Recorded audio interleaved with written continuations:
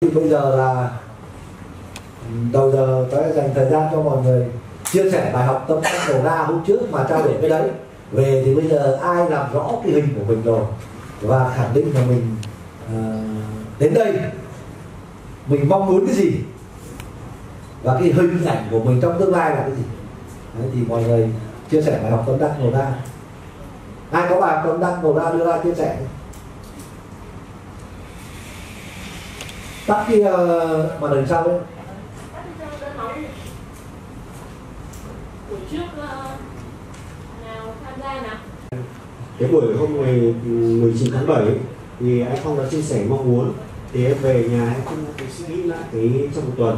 Thì em thấy cái vấn đề là thực ra cái em là làm phòng kinh doanh dầu nước thì mong muốn của em đầu tiên là khi mà nói chuyện với anh Phong đấy là thực ra là mong muốn là à, bán được nhiều hàng đấy mong muốn thực ra nghe là muốn kiếm tiền và mong muốn bán được nhiều hàng. Nhưng mà khi mình uh, sau cái buổi của ờ, chia sẻ và anh Phong đây chỉ cho các cái phương pháp ấy, thì em thấy là đối với mình ờ, mình chỉ tập trung vào bán thì mình sẽ mình chỉ tập trung vào giá. Bây giờ là mình sẽ tạo ra một cái gọi là một cái, cái giải pháp giải pháp làm sao một khách hàng họ chỉ bị nhớ đến mình không phải mình bán với dầu mà cái giải pháp đấy là à, đưa đến cái sự thay đổi cho khách hàng ví dụ như thay đổi trong vấn đề sản xuất. Bây giờ về năng suất của khách hàng ví dụ mua cái sản phẩm bên em thì họ được có lợi thế gì? Ví dụ cái dầu của em họ sẽ được uh, tiết kiệm được thêm 20% hay 10% hoặc 30% của những cái sản phẩm dầu khác. Mình phải đưa ra một cái phương án hoặc cái xuất tích đấy để làm sao một khách hàng thấy là mình có lợi hơn đối thủ khác. Và cùng cái sản phẩm cùng cùng cái dầu đấy nhưng mà cùng là dầu context mình mang lại cho người ta cái lợi ích gì? Và mình chia sẻ những bài học và cái kinh nghiệm của mình mà các anh đi trước đã truyền lại cho mình. À. Khách hàng thấy đó là một câu chuyện. Đó là một cái mà mình phải cảm giác nó có khách hàng có ý nghĩa. Thì lúc đấy là khách hàng nhớ đến mình hơn hay là hay nhớ đến giá của của của đối thủ hơn anh ạ? Ok em chia sẻ đi. Và cái buổi hôm nay mong muốn là từ cái mong muốn của em thì sếp chỉ ra cho em thực ra là cái điểm chưa mạnh điểm yếu và điểm mạnh của cái mong muốn đấy của em em mong muốn là cái khi mà có cái uh, kinh nghiệm của anh ở đây và ý kiến của mọi người thì cái mong muốn của em nó có càng gọi thúc đẩy hơn càng được tôn vị càng được kiểu có giá trị nhiều hơn nha anh. Giá trị của mong muốn của em đấy em uh, xin xin phép hết ạ. ok. À, rất là tốt đấy tức là rõ hơn đúng không? Nếu mong muốn là hôm trước là mình chỉ mong muốn là đi bán hàng bán được nhiều hàng thì cái ấy là ý niệm đấy là ý niệm âm.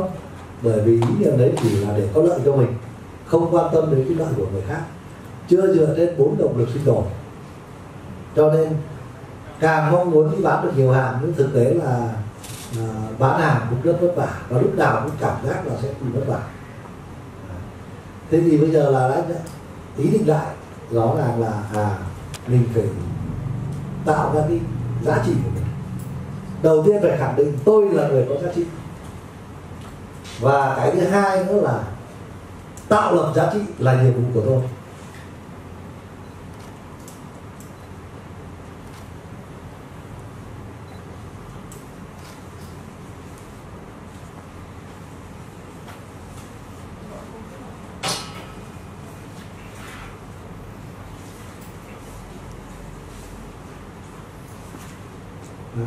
Thì đây là hai cái quan trọng. Nếu xác định mình xây dựng được sự nghiệp, kiến tạo một cái sự nghiệp bền vững hay cái gì đấy? Thì đầu tiên phải khẳng định là mình là người có giá trị. Và tạo lập giá trị cho xã hội, tạo lập giá trị cho người. Thì đấy là một phương án kinh doanh khôn ngoan nhất của người bán hàng.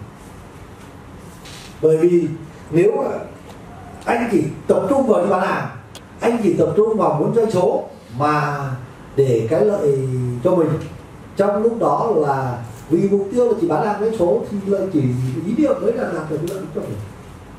Nhưng nếu như ý niệm là mình có giá trị rồi mình muốn đi tạo lập giá trị, có nghĩa đi giúp khách hàng để tạo ra được cái giá trị tốt hơn, thì lúc đấy cái ý niệm đấy bắt đầu mới là ý niệm dương. Ý niệm là à có lợi cho khách thì sẽ có lợi cho mình vì mình à, đi trao đi giá trị thì như thế là giống như quảng bá là gì? À mình nâng cao giá trị của khách hàng lên nhưng không giảm lợi ích của mình cũng không giảm giá trị của mình. Thì đây là một phương pháp làm. Còn nếu không thì mình đi bán hàng là khách hàng mà bằng cả thì chỉ có biết tăng giá hay giảm giá cạnh tranh nhau là một cách giảm giá đi để mà mà, mà, mà bán thôi. Thì như thế thì nó sẽ không được lâu dài không được bền vững. Thì đây là một cái lộ trình à, muốn là tôi muốn là xây dựng ở đây sẽ là đào tạo để làm một cái lộ trình để cho mọi người kiến tạo được một sự nghiệp thì lấy cái này. Hôm trước là nói rồi là giá trị cốt lõi của con người là nhân lễ nghĩa trí tín trên bốn động lực sinh tồn. Đấy là cái cái rất là quan trọng. Mọi người luôn luôn thấu hiểu thấu suốt được cái đấy. Và hàng ngày trong tâm niệm làm cái đấy, làm vì mình, làm vì gia đình, làm vì tổ chức, làm vì xã hội. Và xét đến cái lợi ích là xã hội, tổ chức, gia đình và bản thân mình sẽ có. Thì lúc đấy là ý tưởng dương thì lúc đấy sẽ được sự đồng thuận của khách hàng và mọi người sẽ ủng hộ. Thì để cái làm được cái điều đấy thì đấy là cả cái lộ trình để xây dựng. Tư duy lại nâng cái tầm nhận thức của mình lên, nâng cái trí tuệ của mình lên thay đổi cái tâm thái của mình làm việc, thay đổi cái nhân cách của mình, thay đổi cái phẩm chất của mình trong suy nghĩ, trong hành động, thì khi ấy sẽ được làm được. Và lúc đấy thì khách hàng sẽ ủng hộ mình. Và mình tạo ra một cái thế kinh doanh đi và có con người xung quanh mình đồng hành để thuận lợi hơn. Thế thì cái đấy thì đầu tiên mình phải khẳng định là mình là người có giá trị. Còn làm thế nào để mình có giá trị? Thì lộ trình của chương trình này kiến tạo cho mọi người để mọi người sẽ cảm thấy xây dựng được cho mình là con người có giá trị. Khi mình có giá trị rồi thì bắt đầu là mình đi tạo lập giá trị cho xã hội. Thì như thế nó trở thành kinh doanh. Không kinh doanh mà kinh doanh. Không bán hàng mà bán hàng. Đấy, thì đấy mới là phương pháp kinh doanh là ưu việt nhất và phương pháp làm. Thì mọi người nhìn thấy rồi là ở công ty mình. Đấy, từ anh Lê Tân là có hai anh em thành lập ra ban đầu có chưa đến chục người, trên dưới chục người. Và đến bây giờ một môi trường lớn này, thì tại sao mọi người đến làm việc với anh? Vì anh đã xây dựng công ty một cái cơ chế hoạt động, một cái cách hoạt động, một cái cách làm mà mọi người đến đây làm việc đều có giá trị của mình trong đó. Có nghĩa là anh đang tạo ra, anh là người xác định mình là người có giá trị. Mình tạo ra cơ chế công ty để mọi người đến đây là mọi người đều có giá trị ở trong đấy, tạo lập được cuộc sống ở trong đấy. Thì tạo, đang kiến tạo tạo lập giá trị cho mọi người. Tại sao? Tuyển dụng mọi người lại đến lại đến đông như này? Vì ở đây mọi người nhìn thấy cơ hội ở đây được trao đi giá trị của mình, có cái cuộc sống của mình ở đây. Thì mọi người đến thế thì ở đây là, đây anh đơn giản đấy anh làm cơ chế anh có thể để là, có phải là, nếu mà nói kinh doanh phải đi bán hàng, anh có cần bán hàng, cần lắm chứ. Nhưng nếu anh đi bán hàng thì anh sẽ bán được bao nhiêu hàng? Nhưng nếu anh biết mà tạo lập giá trị, xác định mình có giá trị, tạo lập giá trị cho mọi người, thì mọi người giúp mình bán hàng nhiều hơn nhiều. Thì ở đây sự nghiệp mọi người đấy xác định ở đây, hôm nay mình đi bán hàng vì cái chỗ này khác, nhưng nếu mình không hiểu rõ cái công thức đấy, đây là một cái chìa khóa bí mật trong kinh doanh. Nếu không hiểu được cái tâm niệm đấy, thì chỉ khi đang đi đâu cũng quảng bá để mục tiêu để bán được hàng cho mình. Thì suốt ngày là cứ phải đi bán hàng đi tìm mấy khách này khách này khác. Nhưng nếu như mọi người xác định cái này, mọi người kiên trì mà làm được, mình là người tạo lập giá trị. Đi đến khách hàng nào, khách hàng đấy có lợi. Tự khách hàng lan tỏa lẫn nhau ví dụ mua dầu ờ bảo mua dầu bên này dùng hay anh bảo dùng được nhưng mà ở bên này có cái câu tung ông tư vấn cho mình coi như là về máy móc sử dụng từ hồi mua đến giờ xuống là nhà xưởng máy móc êm ru cái là ngon lành. Thế ông khách đấy nói với ông khách khác ông khách khác thế tự khách hàng quảng bá giúp mình. Tự khách hàng bán hàng của mình. Thế tự nhiên là có khách gọi đến bảo ừ, anh được anh kia giới thiệu bên nhà máy này giới thiệu. Thì bảo là em tư vấn, nhà máy người chạy nó ổn lắm, dầu ngon lắm. Thế thì tự nhiên là sang nhà máy khác đến đây giới thiệu. Thì lúc đấy là mọi người quay trở lại có đúng không? Mình tạo lập giá trị, tức là mình tạo xuất phát từ mình xem cái lợi ích của khách hàng đấy. Dùng sản phẩm gì phù hợp nhất đối với máy móc của họ. Dùng cái gì hay nhất đối với họ. Mà mình tâm niệm là nếu mà đến một khách hàng mới, là có một máy mới, thì muốn là sao để mà tư vấn được? Mình là phải xác định mình là người có giá trị bắt đầu phải đi học hỏi lại, đi tìm hiểu, nâng cao cái năng lực, kiến thức chuyên môn của mình lên. Thì khi đấy mình có cái để tạo lập giá trị cho xã hội. Thì mình chỉ tập trung làm những cái mới, làm luôn luôn nâng cao cái năng lực của mình lên. Và tâm niệm là đến khách hàng là giúp khách hàng để làm lợi. Thì như thế từ khách hàng lan tỏa thì mình đi bán hàng, rất nhàn không phải lúc nào cũng tìm khách lên phục vụ khách này tốt khách này tốt thì tự có khách khác là đang được giới thiệu đến tận mình lại đến liên lạc với mình. Còn nếu xác định ông mà mục tiêu chỉ để bán hàng để đặt doanh số đến nói người ta à, à mình có thể lợi dụng là uy tín công ty có hay là lợi dụng một mối quan hệ nào đấy giới thiệu. Cái khách hàng để người ta mua mua xong cũng không biết dùng như nào cả. Hoặc là dùng nó không hiệu quả. Thì mọi người xem mối quan hệ đấy như thế nào. Nó bị giảm xuống bị giảm xuống thì đến lúc người ta không biết dùng thì nếu một người khác đến hỏi người ta bảo anh ơi thế thì mua dầu ở đâu à? Ừ, dầu này dùng cũng được đấy nhưng mà bên này cái tư vấn kém lắm thì liệu như thế mọi người có tự nhiên có được khách hàng nga không? Thế có vất vả để tìm thêm một khách hàng nga không? Đó, thì đấy là trong bí quyết kinh doanh. Cho nên nói gì sâu xa là nói ở các các sếp nói thế thì bán hàng mới biết. Cũng đi bán hàng rồi các sếp cũng phải đã từng đi bán hàng rồi chứ không phải bây giờ ở đây để ngồi à, thuyết trình cho mọi người là cái, cái phương pháp bán hàng. Và bán hàng làm sao để này khách hàng vẫn lưu lại khi mình đến bất cứ khách hàng nào tạo lập được cái giá trị ở đấy thì khách hàng lưu lại cái hình ảnh tốt ở trong cái đầu khách hàng. Đến lại với nhau. Thì lúc đấy là mọi người sẽ thành công. Và lúc đấy là mọi người có thể tiến xa hơn nữa có một lượng khách hàng ruột của mình. Rồi mọi người bảo à, ruột của mình vẫn phục vụ không hết rồi lại tạo lập ra đội nhóm của mình trong một tổ của mình thậm chí là tạo lập trong phòng của mình. Cái lan tỏa ra thì mọi người bắt đầu lúc đấy là trưởng thành, vượt bậc hơn người theo phương pháp đi bán hàng thì anh cũng thấy là từ anh bây giờ vẫn có những khách hàng, có những khách hàng thời kỳ anh khởi nghiệp, bắt đầu đi bán hàng với mọi người. Có những người đã mất, là tuổi già có những người đang còn, có những người thì gara cũng ba mươi năm nay rồi, hai mấy ba mươi năm nay rồi. Nhưng gặp lại nhau vẫn nhớ mọi người đi xuống những khu vực đấy có thể hỏi. Nếu như bác ấy vẫn đang còn ngồi chủ xưởng, vẫn còn nhớ đến còn anh lên tân là ai. Đấy, thì mọi người đấy. Thì phương pháp của bọn anh là gì? Đấy, bây giờ tất cả những kiến thức, đấy là những cái kỹ năng của bọn anh có. Thế nên bây giờ là muốn là cao lại cho tất cả đúng kinh doanh là đôi anh em của mình, nhân viên của mình. Là phương pháp của mình là, phương pháp cái lớn nhất là phương pháp tạo lập tổ chức. trước đây khi chưa được uh, tiếp xúc được với cái tri thức của quýt tức là triết lý giáo dục tận gốc. Thì anh cũng nghĩ là à mình làm tốt cho khách. Thì sẽ được lan tỏa khách lan tỏa khách ủng hộ. Có khách thì giới thiệu cho mình mình nói đầu có ai mua thì giới thiệu cho em. Và cũng được cái đấy nhiều. Nhưng mình chưa tổng hợp được một logic để chuyển giao cái phương pháp đấy cho người khác phương pháp đấy cho nhân viên của mình. Thì mình cũng chỉ biết tạo được một cái khung uh, cơ chế hợp lý đưa ra được những sản phẩm hợp lý có những đội ngũ kỹ thuật đào tạo để cho hỗ trợ cho kinh doanh bán hàng để tạo ra một cỗ máy tạo lập giá trị.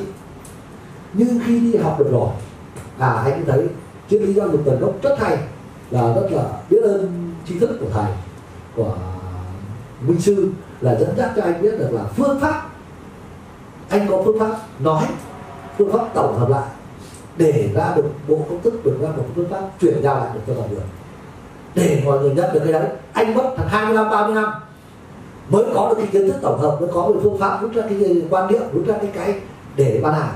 và mong muốn mọi người ở đây thì mất độ khoảng 3 đến 6 tháng. Chúng ta mỗi một tuần một buổi mà học được với nhau thì mọi người có cái phương pháp của anh.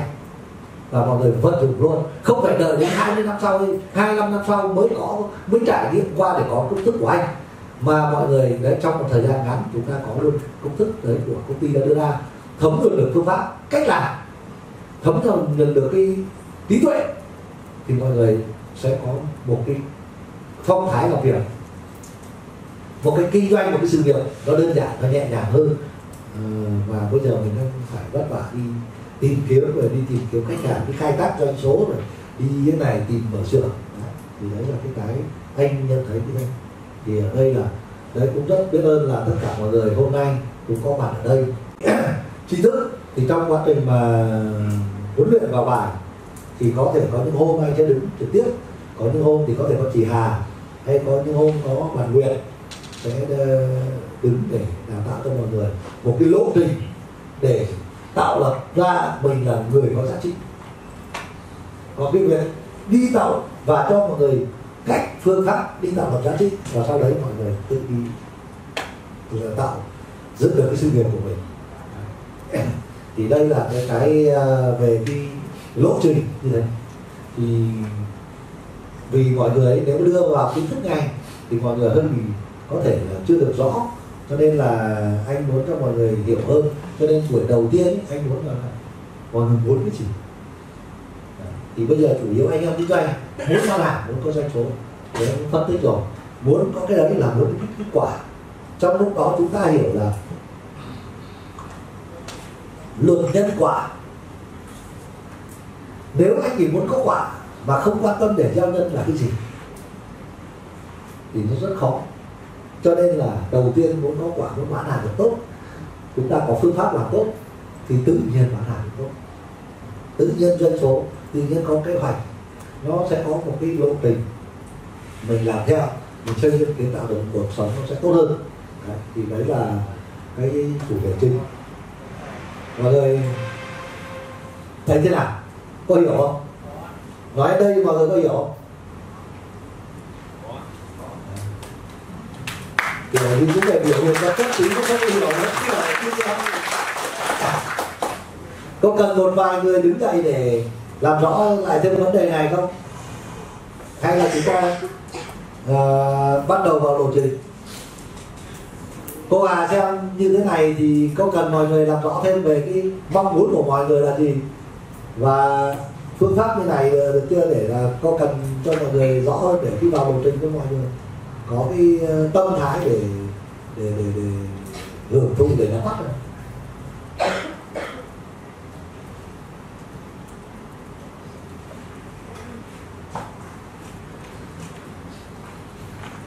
vì mọi người phải phải tương tác ở đây đấy anh không phải là dạy cho mọi người.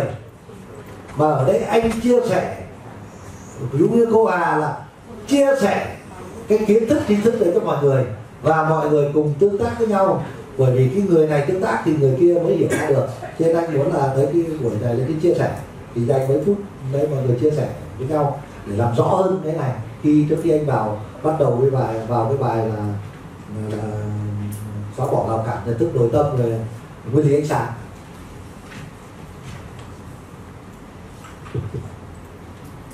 À, trước khi anh Phong uh, chia sẻ về uh, cái lộ trình ấy thì uh, em có một chút chia sẻ đến với cả nhà mình.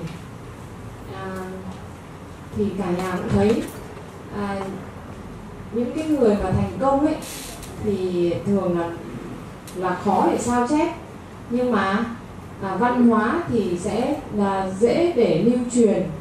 Và các anh chị sẽ thấy này à, ví dụ như anh Phong nếu như nói về là người thành công các anh chị có thấy anh thành công không ạ? À thế nhưng đến bây giờ sao anh vẫn đi học? Có bao giờ có ai đặt ra cái câu hỏi như vậy không? Có anh chị nào ở trong căn phòng này đã, đã từng đặt cái câu hỏi là ủa, vì sao mà đến bây giờ sếp không thiếu một cái gì? Nếu như mà xét cho cùng thì anh ấy có thiếu cái gì không ạ? Theo các anh chị, anh ấy có thiếu cái gì không? Thiếu cái gì không ạ? Thế thì bao nhiêu anh chị trong cái căn phòng này đã đặt ra cái câu hỏi là vì sao đến bây giờ sếp vẫn đi học? Có ai ở trong căn phòng này đặt ra cái câu hỏi như vậy không? Chưa bao giờ hả? Thế có muốn như cuộc sống như anh ấy không? Có ai mong muốn có cuộc sống như anh không ạ? Hay là không? Khó có mà sao nói nhỏ vậy? Thế nhưng mà có bao giờ nghi vấn là làm thế nào mà anh có được cái cuộc cuộc sống như vậy không ạ? Mà đến bây giờ chia sẻ với cả nhà là cái lộ trình anh học là từ 4 rưỡi sáng cho đến 6 rưỡi sáng. Ba rưỡi sáng. À, 3 rưỡi sáng cho đến 6 rưỡi sáng. Và suốt trong lộ trình của anh ấy là 8 tháng anh học trong cái cái điều kiện như vậy. Vậy thì một người mà người ta thực sự thành công về vật chất nhá chứ em chưa nói về cái kia mà đến bây giờ anh vẫn đi học thì tại sao chúng ta chúng ta đã có gì mà cái tri thức này đưa về khuyến khích mọi người học. Nhưng mà sao ạ?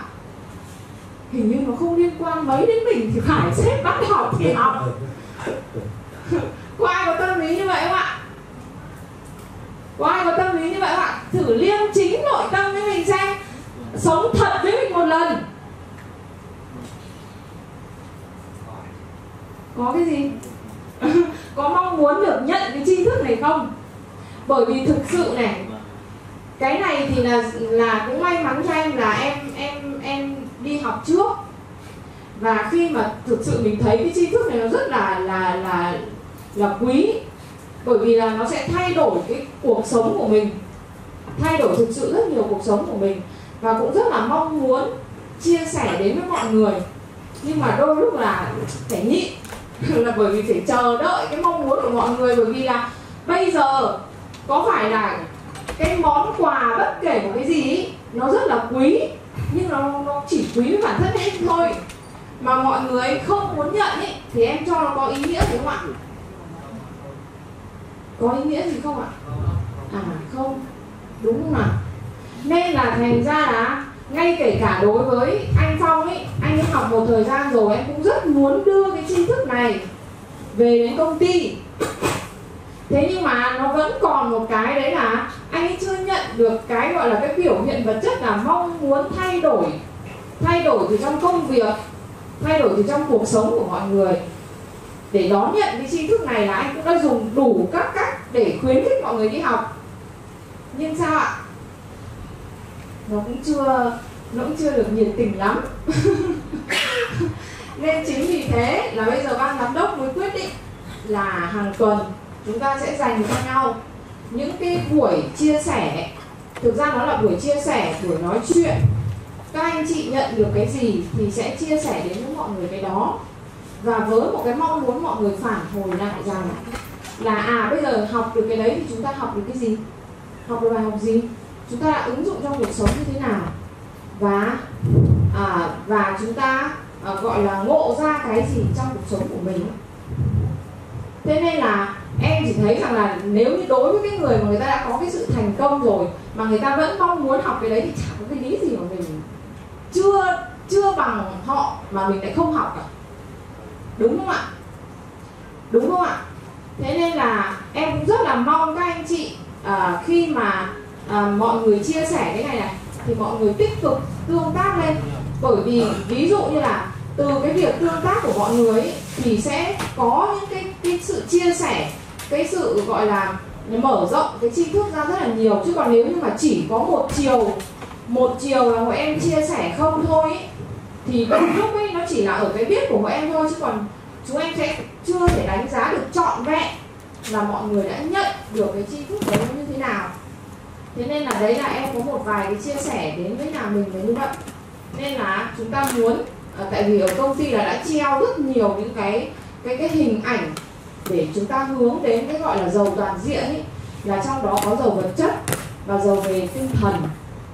Thế nên là giàu về vật chất là cái việc mà chúng ta đang làm chúng ta có thu nhập chúng ta chăm sóc khách hàng và và có những cái thu nhập từ công ty thì đấy nó là vật chất rồi. Còn ngoài cái đấy ra chúng ta còn phải giàu về tinh thần nữa. Mà mình có giàu về tinh thần ý, thì mình mới trao đi cái đấy cho khách hàng được. Thì đấy là một số cái chia sẻ của em trước khi mà anh phong anh chia sẻ thì cũng rất là biết ơn cả nhà mình đã lắng nghe Dạ con chị Hà có ai có ờ, mong muốn chia sẻ gì nữa không? Ok. Thế thì chúng ta bắt đầu lộ trình làm giàu bản thân lên để chúng ta kiến tạo được một cái sự nghiệp lý đúng không? Thì đầu tiên là mọi người có thấy là thông thường chúng ta là luôn luôn ở trong cuộc sống trong làm hay là với nhận thức của mọi người chúng ta luôn luôn thông thường bị các cái rào cản nó bao bọc chúng ta để cho chúng ta một cái cảm giác giả tạo. Thì uh, ví dụ như là ví là con người là các cái rào cản ờ, của mình. Ví con người như là được nằm trong tổ kén à, con người.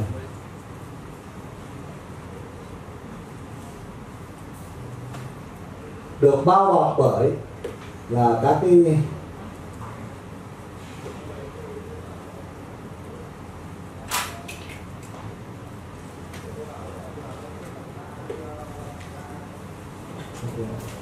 thì khi con người được bao bọc bởi các cái sợi dây hay là dạng buộc thế này.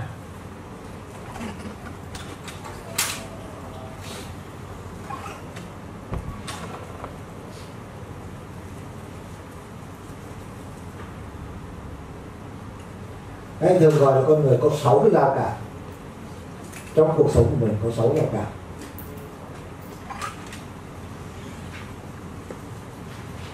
Và khi mà xóa bỏ được cái rào cản này ví dụ như là uh, hạn chế cái uh, sự nhận thức cái rào cản của mình. Nếu như mà cái rào cản như là hạn chế sự nhận thức này sợ mình không làm được này sợ mình chỉ trích này sợ bị phê bình này thì đấy là những cái rào cản thông thường của mình. Và mình cảm giác là có mình được nằm trong cái vỏ bọc này là à nó, nó tạo ra cảm giác an toàn cho mình như thế này. Ôi cái này khó lắm. Các sếp làm được mình không làm được. Rào cản tự hạn chế bản thân. Rồi là à cái này khó lắm mình cũng không đủ tiền để làm đâu.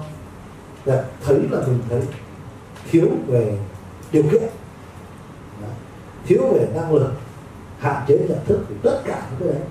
Thì nó tạo cho mình là để nó nói là, có nghĩa là mình không làm mình không giàu không sao mình đi bán hàng. Bảo ừ, mình mới vào. Các ông đấy làm lâu rồi còn chưa bán được. Mà mình không bán được nó bình thường. Thế nó tạo cái rào cản. Mình không còn cái động lực để phấn đấu. Nó gọi là cái tâm lý trong cái nhân sinh học ờ, ở nhân ờ, nhân sinh của con người, cái tâm lý trong con người. Thì nó mới cảm thấy an toàn. Mình không làm được cái đấy là bình thường. Có nghĩa là mình không cần phải phấn đấu để làm. Thì mình không phải làm.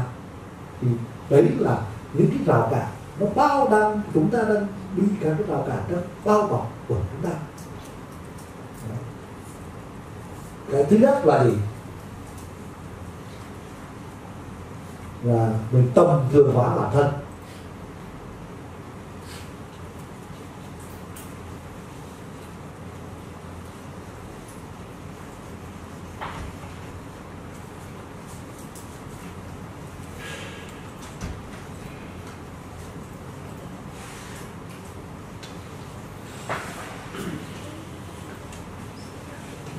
à đúng rồi à, tạo dung cho cho cho cho cho chủ quan phát lên trên nhà cho chủ quan phát phát như nào ạ? Cháu đang ờ, phát ờ, phát lên meta năm. Đăng lên meta năm. Thế để cháu gửi vì cháu đang phát qua youtube của cháu. Thì cháu sẽ gửi cái Ừ. link youtube đấy qua đấy cho mọi người xem. Không ừ youtube được mà không phát dung online. Zoom online. Ừ. tạo dung hà tạo zoom rồi uh, đang mở zoom rồi. ở đâu đang phải dung uh, phát uh, ừ. Gửi vào cái nhà một ờ, gửi vào cái gửi thông báo lên uh, meta năm là hôm nay chú chia sẻ. Vào ấy trong gửi vào trong nhà 155 chú.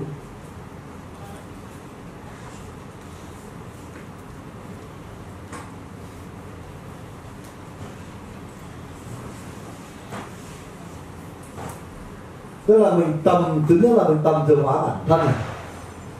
Là tự tự mình hạn chế cái sự nhận thức của mình lại gọi là tức hạn chế nhận thức.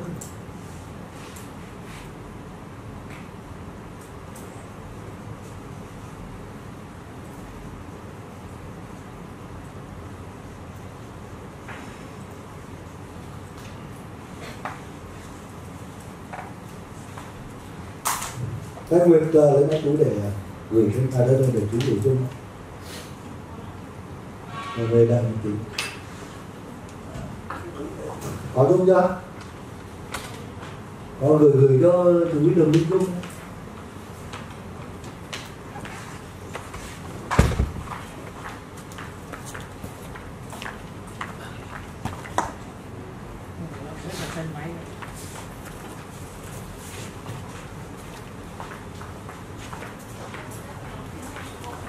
hả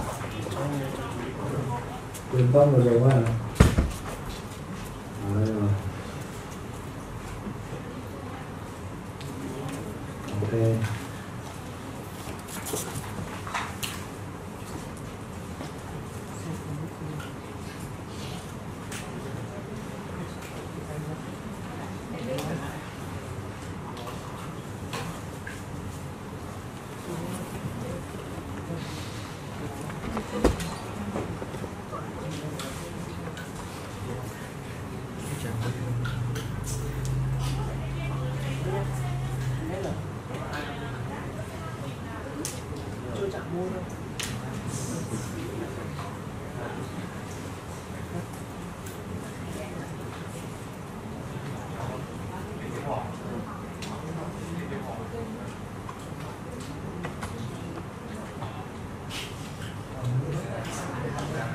Gửi telegram nào Nguyệt nhỉ?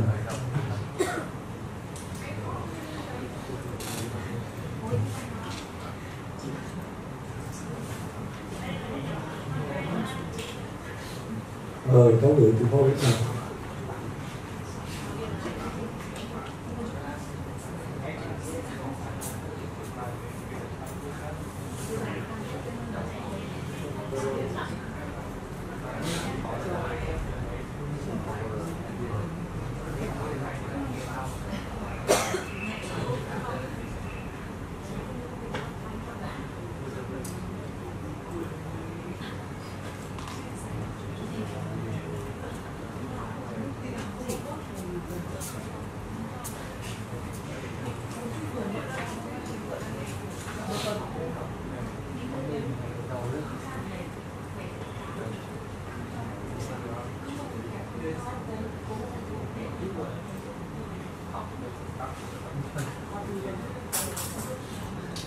làm có vẻ chưa đúng rồi cho cho cho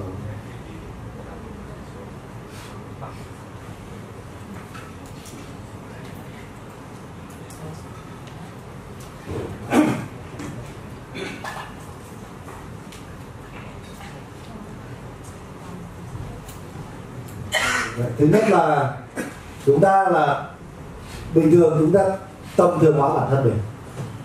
Tự coi mình là chưa đủ năng lực từ chỗ đấy thì tự mình đánh giá thấp mình. Thì cái trí thức cái, cái kiến thức của mình không mở ra được năng lực của mình không lên để làm được những cái lớn hơn những cái khó hơn. Cái hạn chế thứ hai là sợ bị thất bại.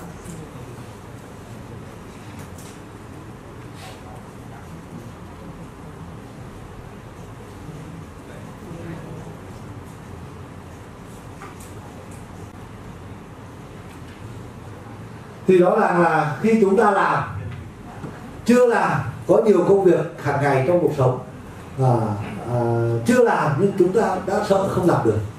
Vì cái suy nghĩ sợ không làm được mất uy tín cho nên thôi không làm nữa. Có đúng không ạ? Đó mình đưa ra là có nhiều cái là làm có thể được có thể không nhưng khi bắt tay vào thì lại sợ bị thất bại. Cho nên là thôi người không làm làm xong thì thất bại thì là người ta cười nhau hoặc là bạn bè đó ờ, bảo mình là coi như chưa làm được thì cố mà làm cái này khác. Mà làm đã không được rồi nhiều người nói bảo đấy, đã bảo đừng có làm rồi, mà vẫn cứ làm. Đấy, sợ bị thất bại. Cho nên là mình chưa làm mà mình đã sợ không thành công. Cho nên mình không làm nữa. Cái thứ ba là cái sợ bị chỉ trích, sợ bị phê bình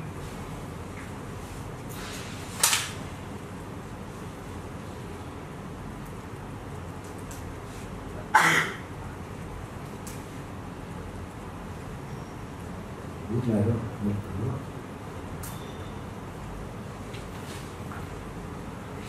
trí tuệ.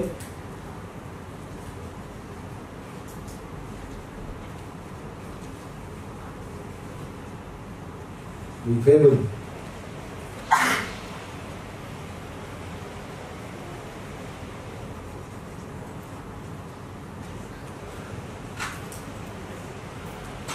Thì chúng ta có gặp những trường hợp này tức là khi chúng ta làm, nhưng sợ thất bại rồi. Bảo nếu thất bại thì lại cho vì chỉ trích bảo. Người ta nói, đã bảo là không làm được. Thậm chí là ngay cả bố mẹ mình, vợ con mình, chồng con mình cũng là chỉ trích, cũng cũng bị sự sợ nghe những người thân của mình. Chỉ trích, bảo rồi cái đừng có theo. Nó không làm được đâu, nhưng vẫn cố làm. Thì vì cái sự, cái sợ đấy, thì làm sao mình cũng không làm nữa tức là sợ bị chỉ trích thôi mình bảo thôi. Không làm thì không ai chê cả. Đấy, không làm thì không sợ sai. Mà làm thì sai đúng thì không sao? Sai thì bị cười. Đúng không? Cái thứ tư là thiếu hiểu biết.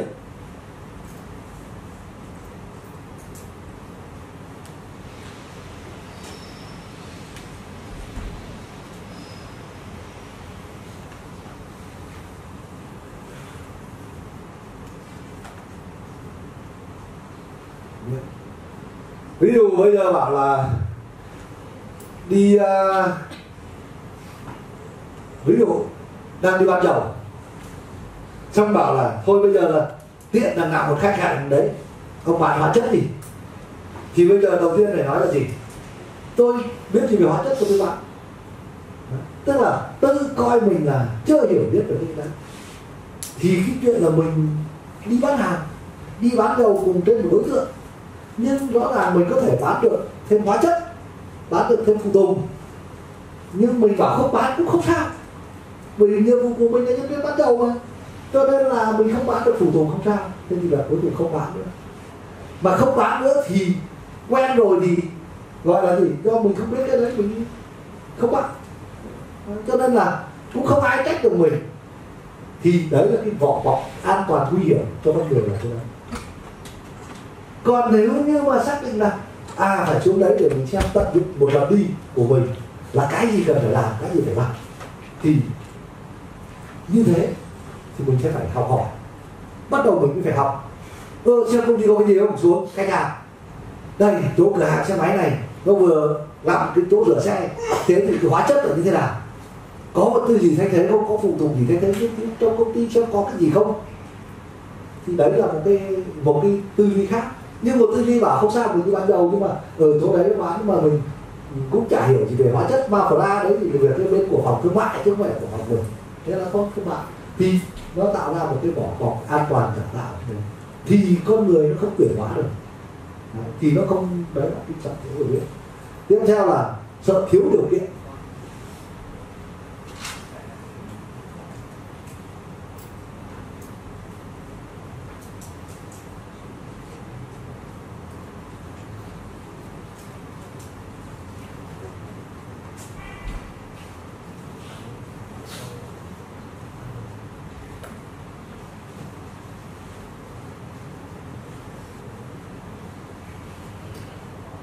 Sợ thiếu điều kiện là gì?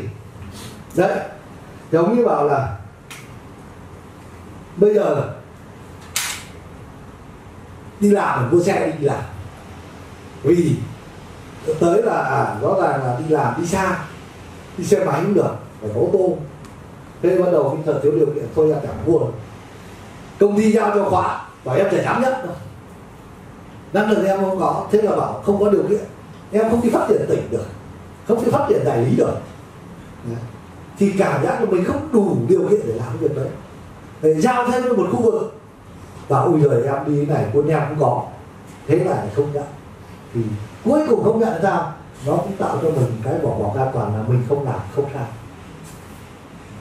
Thì một con người được mới quanh bởi các cái kém này. Một, hai, ba, bốn, năm, sáu.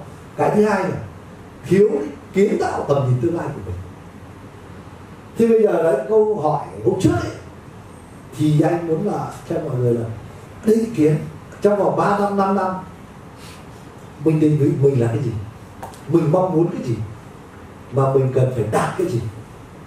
Thì ở đấy thì mọi người là phải xây dựng được cái mong muốn của mình cái đạt được của mình. Cái mong muốn của mình không rõ. Tức là mình thiếu cái sự kiến trúc cái tầm nhìn tương lai của mình.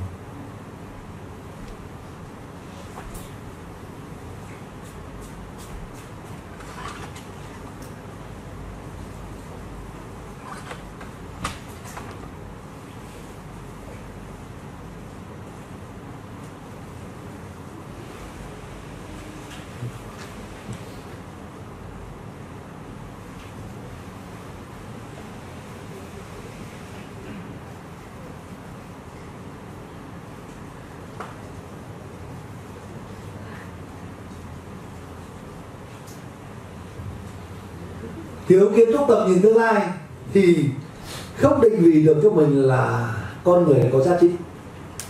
Tương lai của mình là phải một người trưởng phòng, một người giám đốc hay một người quản lý mà bảo kiến trúc tầm nhìn tương lai thôi 5 năm nữa mình cứ cố gắng để làm sao đạt nhân viên tiêu chuẩn một một năm bán được khoảng vài tỷ. Hết. Thì không có cái tư duy để phấn đấu, để phát triển nữa thì như thế bảo là mình không phát triển không sao mình là nhân viên mà. Thì thiếu mất cái tầm nhìn tương lai định vị tương lai của mình là cái gì? Cái thu nhập của mình tương lai là nào bảo hơn nhân, nhân viên. Thu nhập tương lai mình chắc chỉ vài chục triệu một tháng là thế là ổn rồi. Thì thiếu mất cái sự kiến trúc trong cái tầm nhìn tương lai của mình. Thì đây là sáu cái rào cản trong cái cuộc sống của con người trong cái tư duy cái nhận thức của con người. Và nó tạo ra một cái vỏ bọc an toàn giả tạo để con người không chuyển hóa được, không phát triển được.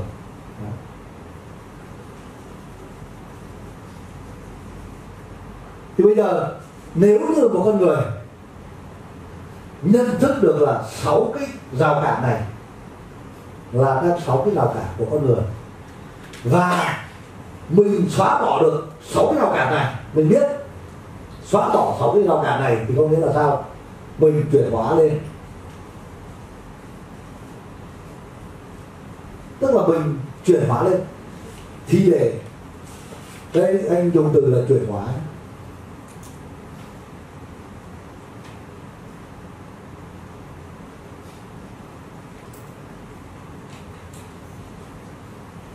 Thì chuyển hóa thì có thể gì? Ra một con người. Mặt mũi bụng vắm lè có thể bụng to ra. Có thể vọc thêm cả rốn. Tay chân mọc ra.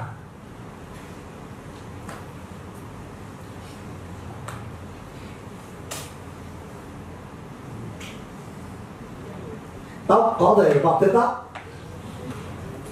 Ba cọng tóc. Miệng. Có mắt là hỏa nhãn kim tinh. Kim tinh hỏa nhãn.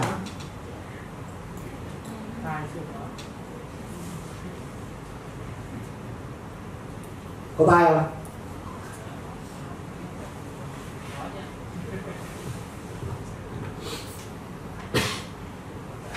khi con người nếu mà chuyển hóa được, thông thái lên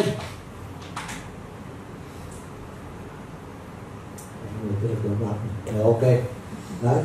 Tay chân mập bạt ra tức là mình mình thoát khỏi cái cái cái cái cái cái, cái uh, xiềng xích ấy. Đúng không? Thì bắt đầu bắt ra tay ra to ra. Mắt tinh ra. Anh linh trả lên. Miệng là nói những lời vô thí. Đó. nhưng tại sao không có tài không phải là bớt nghe mà nghe bằng tâm thức. Thì chính thế là con người nếu như mà ở trong cái kén mà xóa bỏ được tất cả các cái ờ, rào cản này.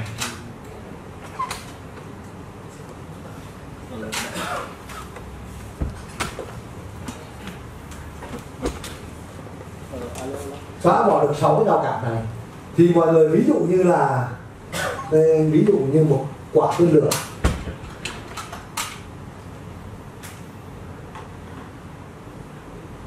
Đây, vào đây luôn nè. Một giống như một quả tên lửa đây. Sáu cái rào cản này. Thì chúng ta sẽ chuyển hóa con người nhỏ bé, chuyển hóa bước ra phát triển lên thì đây là cái hình tượng người ta ví. Cái kén này, con người, giống như một quả trứng gà nếu như cũng để chuyển hóa để nó vỡ ra, thì có hai phương pháp. Có hai cách. Một, có người ở ngoài tác động vào quả trứng, thì quả trứng vỡ ra. Cái thứ hai là con gà ở trong bụng, trong quả trứng mổ vỡ ra, thì nó cũng là vỡ ra. Thì ở đây người ta dùng cái hình tượng là uh, thầy uh, dùng cái hình tượng là quả trứng để cho mọi người rõ hơn. Nếu như quả trứng mà bị tác động ở ngoài vào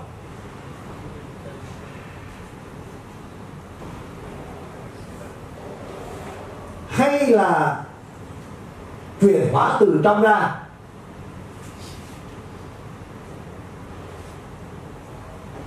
nếu tác động ngoài vào thì nó trở thành thức ăn mọi người thấy không ạ? Quả trứng nếu chúng ta muốn trắng trứng thì gì đập vỡ quả trứng. Thì ở ngoài tác động vào thì là quả trứng nó thành thức ăn. Và nếu như ở trong mà nở mổ ra chuyển hóa ra thì nó trở thành là một sinh vật. Là một sinh vật là một sự sống. Đấy. Con gà nếu mổ từ trong ra thì nó trở thành sinh vật thành một con gà. Ra một cuộc sống nhưng nếu như mà bị tác động bên ngoài vào, nó trở thành thức ăn. Thế thì con người chúng ta, các cái rào cản của chúng ta giống như là con gà ở trong quả trứng.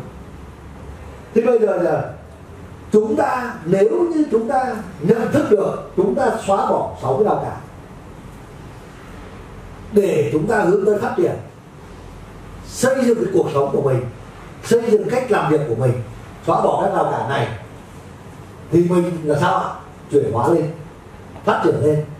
Nhưng nếu như chúng ta, cái gì sợ sợ bình thường hóa, sợ bị chỉ trích, sợ thất bại, không làm gì cả, thì chúng ta phải trở thành thức ăn cho xã hội. Có nghĩa là lúc đấy bị xã hội sai khiến. Người ta sẽ bảo, làm cái này đi. Người ta bảo, làm cái kia đi. Làm việc này đi, làm việc kia, người ta phân công giao cái việc gì phải làm việc đấy. Thì khi đấy là chúng ta là đang để cho xã hội quyết định số mệnh cuộc sống của mình. Còn nếu như chúng ta nhận thức được cái này, chúng ta xóa bỏ đi, thì chúng ta sẽ làm chủ được, tự làm chủ tự mình quyết định vận mệnh của mình. Cho nên, đây là một cái lộ trình rất quan trọng. Và anh không chúc mọi người để mọi người không giúp được mọi người là có một cuộc sống tốt đẹp bán được nhiều hàng mà anh chỉ giúp cho mọi người tự nhận thức được. Và mọi người sẽ tự xây dựng được kế hoạch bán hàng được tốt đẹp xây dựng được cái sự nghiệp của mình. Thì đây là một cái phương pháp đây mới gọi là tri thức tuyệt quý của cái uh, giáo dục tầng gốc là chỗ này bình thường ra bảo tôi cần anh giúp tôi là à, tôi cần sếp hỗ trợ cho tôi làm sao năm nay tôi bán được 5 tỷ để tôi hoàn thành kế hoạch, nhân viên xuất sắc. Thì không, sếp không đi lấy là doanh số hay tạo ra mối quan hệ làm một khách hàng cho ông được. Làm được không? Có thể làm được. Nhưng làm được lần này thì lần sau sẽ bị vỡ? Thế thế thì ở đây là nếu như người khác cho là sếp ưu đãi cho mình, thì ngày mai có một nhân viên mới, sếp cần nó đỡ hơn. Thì cái ưu đãi đấy sẽ chuyển nhân viên mới, thì mình lúc đấy là mình thấp vẫn là tự nhân là mình dạy và mình không bán được. Thì ở đây anh muốn là đào tạo cho tất cả mọi người. Mọi người phải có tư duy ở trong đầu của mình. Tự mình phá bỏ được cái rào cản này. Tự mình nâng tầm trí tuệ của mình lên. Để mình có được phương pháp, có được công thức, có được phương pháp, có được giải pháp. Tâm thái làm việc. Để mình tự xây dựng được kế hoạch năm tỷ của mình thì lúc đấy là mọi người thành công bền vững, thì mọi người bắt đầu mới là chuyển hóa, tự mình làm. Còn nếu như để ở ngoài làm thì đấy, mọi người rất là ý câu ý rất đơn giản là giống như chúng ta tưởng tượng như quả trứng gà. Vỡ từ trong ra thì nó trở thành một sinh vật là thành một con gà. Nhưng nếu tác động ở ngoài vào, vỡ ở ngoài vào thì nó trở thành thức ăn. Thế thì bây giờ cuộc sống của mọi người ở đây đấy, là mình vào đây làm việc, bố mẹ nuôi lên lớn rồi làm ăn bao nhiêu lâu rồi, cho ăn học cho này khác rồi. Thế bây giờ mọi người muốn để xã hội quyết định số mệnh của mình, hay tự mình kiến tạo số mệnh để xã hội quyết định cái cuộc sống của mình, hay tự mình xây dựng cái cuộc sống của mình? Đấy, thì mọi người suy nghĩ ở chỗ này. Đây là một cái kiến thức đầu tiên là, gọi là xóa bỏ sáu cái rào cản cuộc sống, rào cản nhận thức của mình. Thì theo mọi người là bây giờ chúng ta nên để xã hội tác động hay nên chúng ta tự chuyển hóa? À? nói to lên nhỏ quá. Đó. thì có cần tự chuyển hóa hay là thôi thôi cứ để thế để công ty bố trí cho công việc công ty à, chỉ cho việc thì công ty là là sắp xếp cho công việc đi làm. Hay tự mình đưa ra đề xuất để kiến lập những kế hoạch kinh doanh để mà làm? Theo mọi người bây giờ mình tự làm kế hoạch hay để sếp nói vào trưởng phòng ép nhân viên ông này năm nay phải bán được này, năm sau phải bán được này. Ông phải đi thị trường này, ông đi thị trường cái kia. Thì bây giờ là mình đợi sếp sắp xếp lịch cho mình để mình đi làm. Hay là mình tự chủ động để mình đi làm. À? đấy, thì đây hào hứng lên đó thì bây giờ muốn chủ động đi đi làm sẽ được kế hoạch để để đi làm. Rồi tự trang bị kiến thức đi làm hay là để người ta ép mình đi làm? Làm. Nào ai ờ, xác định tự mình, coi như mong muốn là tự mình, coi như là xây dựng, kiến tạo cái cuộc sống của mình ờ, giơ tay lên anh em cái nào? Thế thì bây giờ đây quay sang người bên cạnh nói này. Bây giờ tôi hiểu rồi, tôi phải tự kiến tạo cuộc đời của tôi quay sang người bên cạnh nói to lên.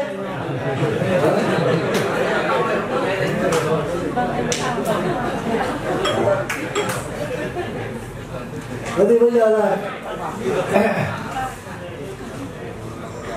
xác định là gì? Xác định là bây giờ là mình là tự làm hay để người khác làm. Tức là bây giờ xác định là mình là con gà hay mình là thức ăn? Đấy là tự mình tự mình quyết định mình là con gà tức là từ mình là mình sinh bệnh hay là mình là mình trở thành thức ăn của xã hội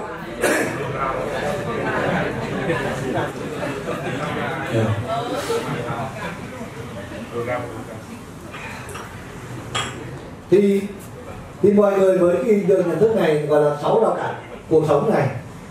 Mọi người thấy thế nào? Ai có chia sẻ khi mà nghe những điều này, ai có thấy tâm đắc cái điều gì, có thể chia sẻ bắt đầu suy nghĩ lại là sáu cái này mình có không? Mình đã bao giờ nghĩ là sẽ chặt đứt nó chưa? Hay là mình đã có mà mình cứ giữ mãi mình không không chịu chuyển hóa? Mọi người từ suy nghĩ xem là mình có sáu cái rào cản này không? Có ai có sáu rào cản này không? À hầu như nhỉ anh em đây hình như là hầu như. Thì cố gắng làm sao thoát được cái sáu rào cản này. Thế đã có ai có ý tưởng này chặt đứt sáu rào cản này không? Có mong muốn không?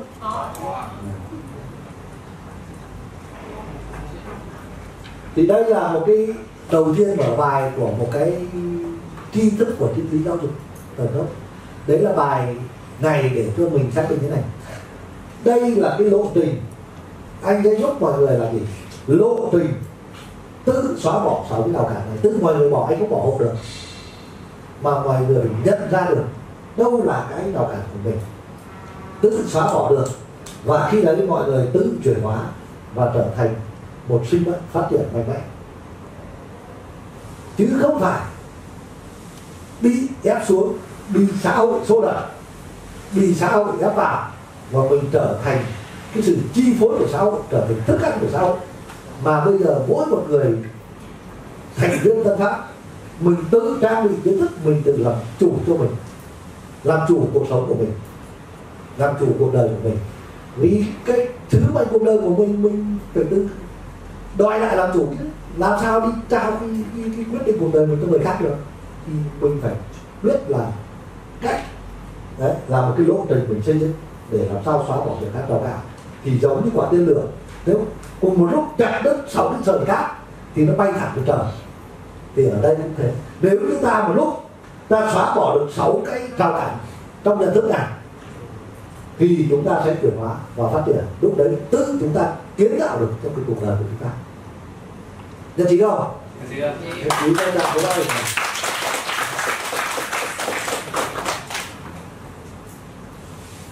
ai có uh, chia sẻ mong muốn chia sẻ cái gì về phần này không em xin phép em chia sẻ tí là Rồi. Đấy, mất chưa? Đấy, chưa? Ờ, cảm ơn ờ, cả nhà đã nghe thì ờ, qua câu chuyện của sếp phong vừa nói về cái lộ trình ờ, nâng tầm nhận thức nội tâm này thì ờ, mình muốn chia sẻ với anh em trong căn phòng mình đấy là một cái câu chuyện rất thật thật một trăm trăm nhưng thật đấy là nhân vật sống của người trong phòng mình ở đây ví dụ như là cầu hiệp cầu hiệp đấy là cậu làm nhân viên thiết bị làm sạch từ cái thời mà anh Minh chưa nghỉ ấy. Thì lúc mà phòng giải tán sắp nhập về phòng tôi quản lý ấy, thì hiệp trong năm đầu chỉ nhăm nhe chỉ làm mỗi máy rửa xe không làm cái gì cả. Đấy. Thì đến giai đoạn tôi quản lý thì tôi cho anh em làm thêm mảng hóa chất mafra hay là làm thêm ờ, về mảng phụ tùng lọc dầu lọc gió gạt mưa. Đấy là cụ thể đấy nhưng mà cậu cũng loay hoay đâu đó mất khoảng tầm 6 tháng 8 tháng là cũng đến chào với khách gần như là không biết chào cái gì cho khách đâu mua mặc dù là mình có hàng đấy nhưng không biết nói kiểu gì. Thế cậu cũng chăn trở. Thế về cậu tôi có ngồi với cậu ngồi trao đổi về vấn đề là cái tình hình vừa rồi em đi công tác chuyến rồi như nào nào thì hai anh em đều kể ra. Thì thấy là tôi nhìn thấy cái thiếu cái yếu của bản thân em thì tôi có trình bày tôi có hướng dẫn tôi có nói chuyện với anh em này bây giờ em đã hiểu kiến thức rất sâu về cái máy rửa xe rồi mà bây giờ em đến trung tâm rửa xe thì đương nhiên người ta có hóa chất hay người ta có những cái phụ tùng như gạt mưa lọc dầu một gió khi em tư vấn ấy, thì bây giờ có hai cái việc mà anh cần em phải là thay đổi. Thay đổi thứ nhất là cái hành động khi em tức là sau cái công việc anh em trao đổi nhau hết rồi thì tôi vẫn quên lại là gì? Cái hành động đầu tiên là anh quên em là gì? Khi mình đến khách hàng với một tâm thế là pháp, hết sức chủ động. Đừng có sợ đừng có rụt rè. Nếu anh em mà càng sợ càng rụt rè thì cái tâm lý mình lúc đấy là không thoải mái. Mà không thoải mái lúc phát ngôn nói ra cho khách thì khách cảm thấy mất niềm tin ở mình. Đấy là việc thứ nhất. Việc thứ hai thì tôi bảo là gì? Bây giờ là gì? Nếu mà nói về máy rửa xe em hiểu rồi nhưng em muốn hiểu sang việc khác thì anh yêu cầu em học cho anh mấy điều.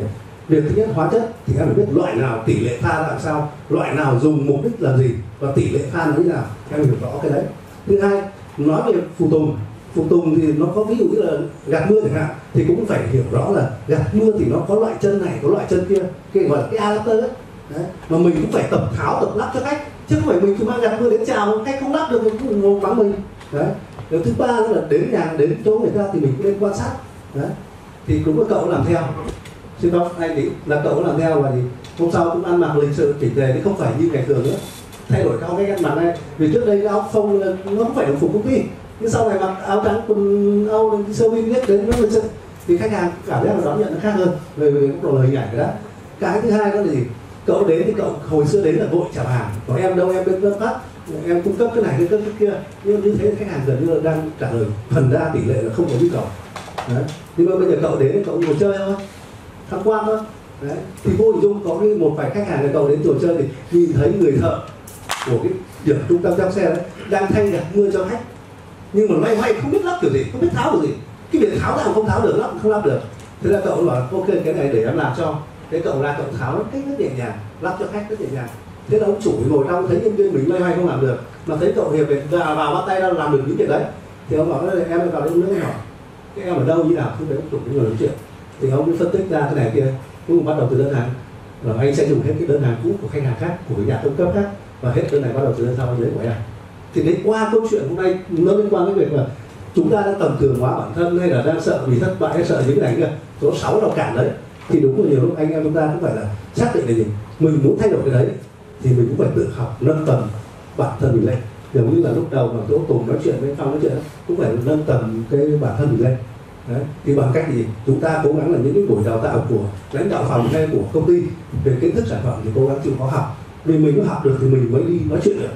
Mà mình mới nói chuyện với khách được. Cái đấy là cái đấy ấy chỗ này đấy là cái đấy là có khẳng định được. Tôi là người có giá trị không bởi vì anh em bây giờ bạn ấy xác định được ấy đấy em đưa đi. Đầu tiên là gì khi mà tiếp xúc không muốn bán cái gì không biết gì là sợ bị thất bại sợ bị chỉ trích sợ thiếu hiểu biết.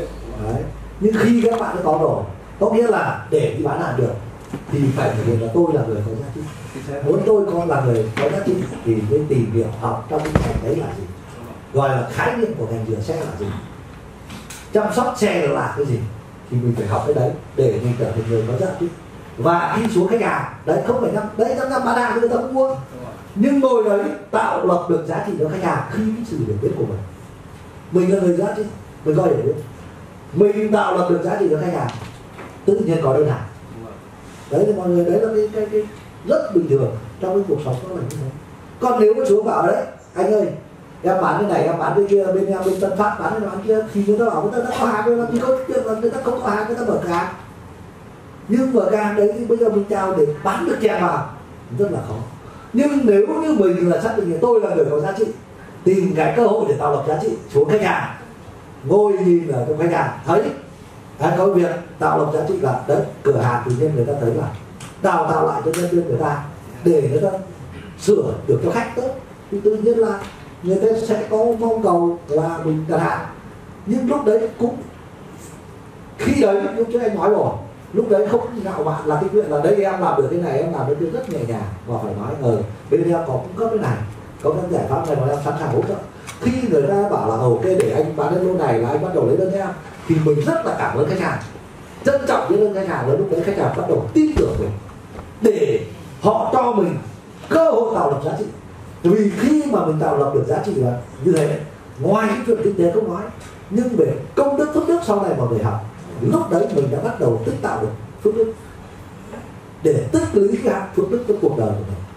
Đấy. cho nên là đấy, cái đấy là cái rất là quan trọng. Nên biết ơn đại chia sẻ một cái ví dụ của một bạn ở đấy ở trong phòng về cái đấy. Cái đấy mà tốt nhất bạn đi chia sẻ thì hay hơn. Ờ, đấy thì cái đó là cái hiện thực của bạn. Để mọi người nhận được cái cái cái, cái phương pháp ở ví dụ ở đó ok rồi. Và bây giờ mong muốn cũng đó rồi. Tôi là muốn là, tôi là một sinh vật, chứ tôi không phải là thức ăn của xã hội. Tôi là một con người làm chủ cuộc sống ở ngoài xã hội, chứ tôi không phải bị xã hội xô đẩy. Tôi phải làm cái này, phải làm cái kia, đúng không? Thì đấy, thì tự mình phải làm chủ bản thân mình. Đấy là đấy là cái thứ nhất là phần đầu tiên là mình xóa bỏ sáu cái rào cản nhận thức này tiếp theo là trong phần thứ hai. Mà tôi chia sẻ thêm một cái phần là nguyên lý ánh sáng. Đây là lâu tinh để mọi người biết nâng nâng tầm nhận thức. Cái thứ hai là cái nguyên lý ánh sáng. Thì à, ta ví dụ như này. À, có một cái phòng. Đấy, mọi người có thể đi vào. Và vẽ cho tôi một cái hộp. Một cái gọi là gọi là cái phòng tối.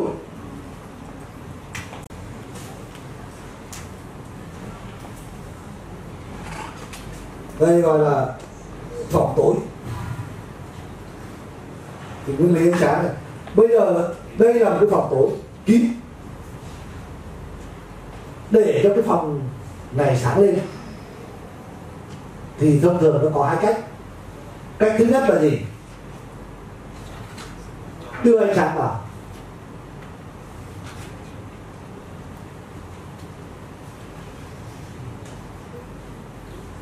Đưa ánh sáng vào.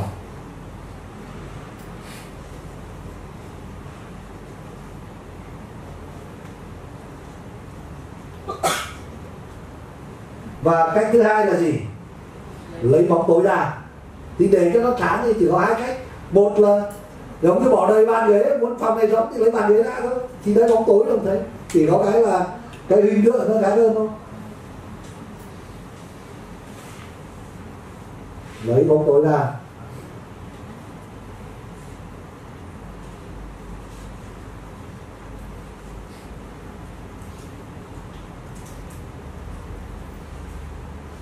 Đấy, thì thì theo mọi người đưa ánh sáng vào dễ hơn hay lấy bóng tối ra dễ hơn?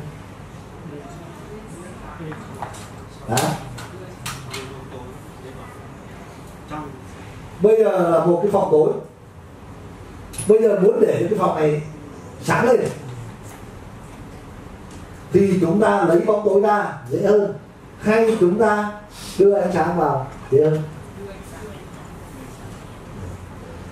Vì khi mà một đứa trẻ bốn năm tuổi vào bảo đưa ánh sáng vào thì nó cũng biết được rằng là vào tìm cái công tắc để nó bật đèn lên cho nó sáng. Có đúng không nhỉ? Thì đấy là phương pháp đưa ánh sáng vào. Còn để lấy cái bóng tối ra khỏi cái phòng sáng mọi người bảo có lấy được không? Có rút được bóng tối ra, ra khỏi cái phòng đấy ra để cái phòng nó sáng lên được không? Nhiều cái hộp đen này kín mít trong cái tối bây giờ lấy hết bóng tối ra để nó sáng với nguyên lý gì nguyên mà. Nguyên lý ánh sáng là nguyên lý gì nguyên. Nguyên lý gì nguyên là gì? Có cái này thì không có cái kia. Có ánh sáng thì nó không còn bóng tối. Có bóng tối thì ánh sáng biến mất đấy là gọi là nguyên lý gì nguyên tức là có nóng thì nó không lạnh lạnh thì nó không không còn nóng nữa. Đấy, thì đấy là trong cuộc sống đấy là có những cái gọi là nguyên lý nhị nguyên tức là có cái này thì nó không có cái kia. Đấy. thì để có ánh sáng thì nó sẽ không còn bóng tối. Mà có bóng tối thì ánh sáng biến mất. Thế thì ở đây là làm thế nào để cái hộp tối mà nó sáng lên được? Thì có hai phương pháp. Một, đưa anh cháu bảo hai là bóng tôi ra. Thì ngay cả đứa trẻ lên 3 đến 5 nó cũng biết được là lấy bóng tối ra khỏi chuông đem là cái điều làm có thể nói gần như là không được chỉ có gì? Cách dễ dàng là vào tìm công tác hoặc đưa một cái đèn hay đưa một con đuốc hay đưa một con nến vào là xong. Để rất là đơn giản như thế. Có đúng không? Thì mọi người có, có công nhận rằng là để đưa để làm cái hộp một cái hộp tối sáng lên cách đơn giản là đưa ánh sáng vào không có công nhận hay là lấy bóng tối ra gì hơn Hả? Theo mọi người là cách nào dễ hơn? Tức là đều thấy là đưa ánh sáng vào là dễ, đúng không? Nhưng thực tế trong cuộc sống của chúng ta thì gần như chúng ta là đang làm điều ngược lại. Mọi người, đấy, tí tôi chia sẻ mọi người sẽ thấy rõ ràng nguyên lý gì nguyên ai biết rồi. Để cái phòng này sáng lên, thì ta vào tìm lửa, cách bật đèn lên hay đưa ánh sáng vào. Chứ không thể nói là vào đấy cầm cái bóng tối để rút nó ra, để cho cái phòng này nó sáng lên được. Vì bản chất là nó nguyên lý gì nguyên thì bóng tối luôn luôn tồn tại. Mọi người hiểu đấy. Bóng tối luôn luôn tồn tại nhưng đó sẽ bị nén xuống khi ta đưa đèn vào. Trong căn nhà này, bình thường mình ra ngoài tắt cái đèn nó tối. Chúng ta bật đèn lên bóng tối còn không? Bản chất nó vẫn còn thôi. Nhưng nó bị ánh sáng đè xuống ném xuống đến nguyên lý nhị nguyên, và nó không còn. Nhưng khi chúng ta tắt đèn lên, thì nó là hiện hữu trở lại. Cái bản chất bóng tối nó không biến mất. Bóng tối nó tồn tại. Cho nên cái chuyện lấy bóng tối ra là cái điều gần như đều mọi người đều hiểu là điều không thể. Đấy, chỉ có đưa ánh sáng vào thì căn phòng nó sẽ sáng lên. Và bóng tối nó bị nhét lại đè lại tức là bị ánh chạm mất. Nhưng không như mất được nhưng trong cuộc sống của chúng ta thì chúng ta là hay làm đang làm điều ngược lại là chúng ta đang cố gắng lấy bóng tối ra khỏi cuộc sống trong cái cuộc sống hàng ngày của chúng ta. Chứ không phải là chúng ta đưa ánh sáng vào. Thì à, à, cao nhân chỉ điểm cho chúng ta là gì? Tổng hợp lại tất cả các vấn nạn trong cuộc đời của chúng ta là có bốn vấn đề bốn vấn đề chính trong cuộc sống của chúng ta là đấy, mọi người có thể vẽ hình một cái ngôi nhà mà mọi người vẫn nhìn thấy cầu thang và nhìn thấy khắp nơi ấy. Là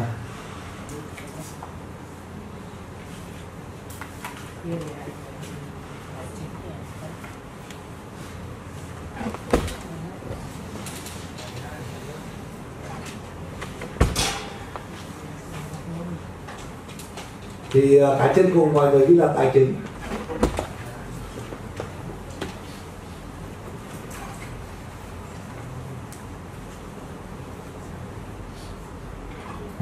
Cột dưới cùng là ghi là nội tâm.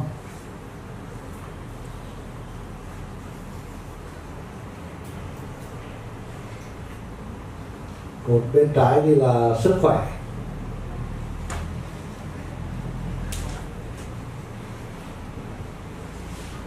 Và cột bên phải như là mối quan hệ.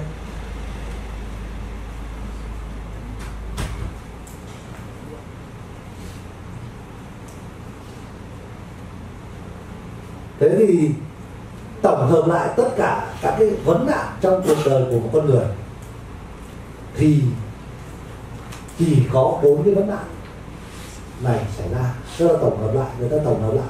Hoặc vấn nạn về tài chính, hoặc vấn nạn về sức khỏe hoặc vấn nạn về mối quan hệ hoặc vấn nạn về người tâm. Có cái vấn nạn nào nằm ngoài cái bốn vấn nạn này không ạ? Mọi người thấy là con người ngoài bốn vấn nạn này còn có vấn nạn nào không?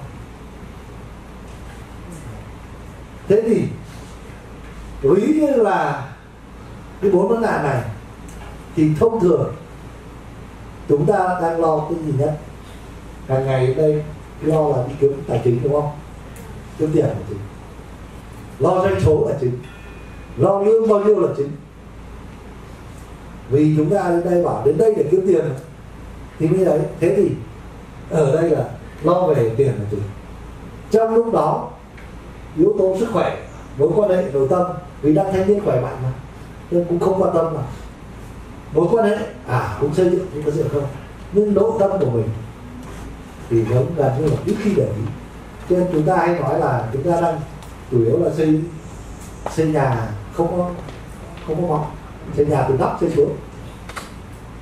Thì cái đấy là, cái hôm sau sẽ làm rõ thêm cái phần đấy, hôm nay mới đến sáng thì vẫn nói là tổng hợp các vấn nạn lại của con người. Là có bốn vấn nạn. Là nội tâm, sức khỏe, mối quan hệ, tài chính. Thì khi mà có vấn nạn về nội tâm, khi nội tâm có vấn đề thì có ảnh hưởng đến mối quan hệ không ạ? Ông đau yếu rồi là à, ông mà tinh thần không ổn định ngoài tháng thì ông có bị ảnh hưởng đến mối quan hệ không ạ? Có. Khi nội tâm có vấn đề có ảnh hưởng đến sức khỏe không ạ?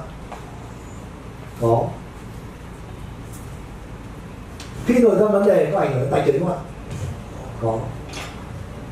Và tiếp theo khi sức khỏe có vấn đề có ảnh hưởng nội tâm không? Cũng có ảnh hưởng đến tài chính không? Có. Ảnh hưởng đến mối quan hệ không? Có. Và mối quan hệ cũng thế. Khi mối quan hệ mà không được tốt đẹp có ảnh hưởng đến nội tâm không? Người yêu bỏ về có buồn chồn không? Đấy.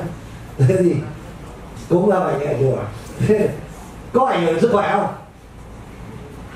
Là đi uống rượu không? Cả đêm. Đấy. thế là ảnh hưởng sức khỏe. Có ảnh hưởng tài chính không Thế cái tài chính cũng thế.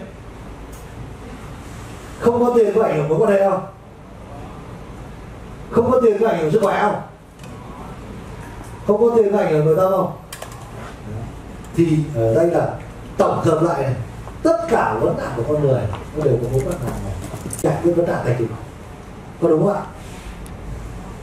Khi mà gặp vấn nạn về tài chính, thì mình bắt đầu đi giải quyết các vấn đề đó tài chính khi có vấn nạn về sức khỏe thì lo đi chữa sức khỏe.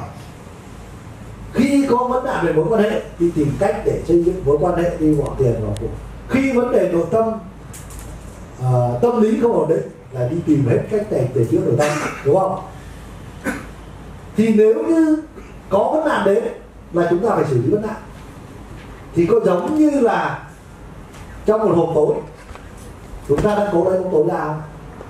Sếp vẫn là một con người là bóng tối thì có vấn nạn xảy ra thì chúng ta đi xử lý vấn nạn.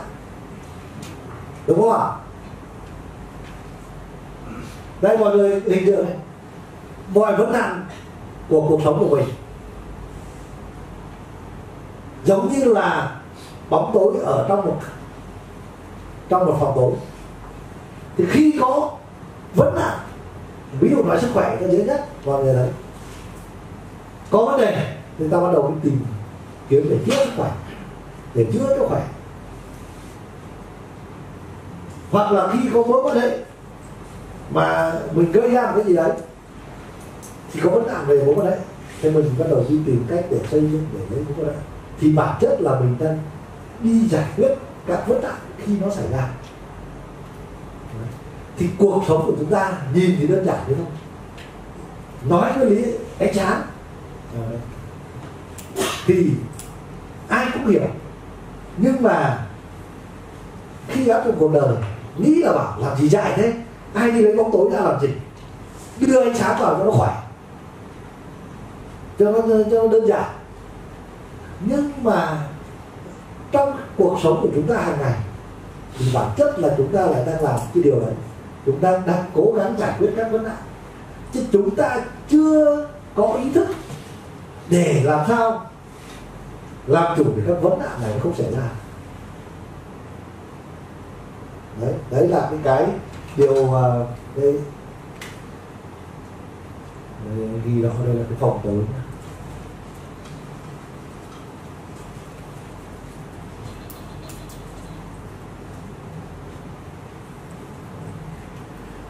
thì nhìn người tưởng như thế nhưng thực tế là tưởng là dạy gì mà đi giải quyết được đi lấy tối đa.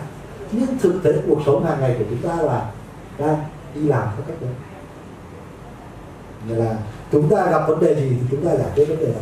Chúng ta chưa chủ động tìm hiểu để làm sao các vấn nạn này nó không xảy ra.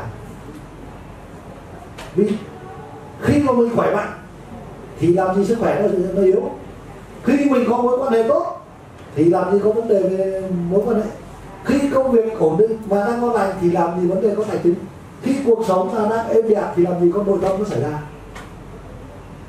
Thì thông thường chúng ta hàng ngày bây giờ chúng ta đang làm cái việc như thế này thì chúng ta coi như là đi làm ăn nhưng không chú ý đến cái này.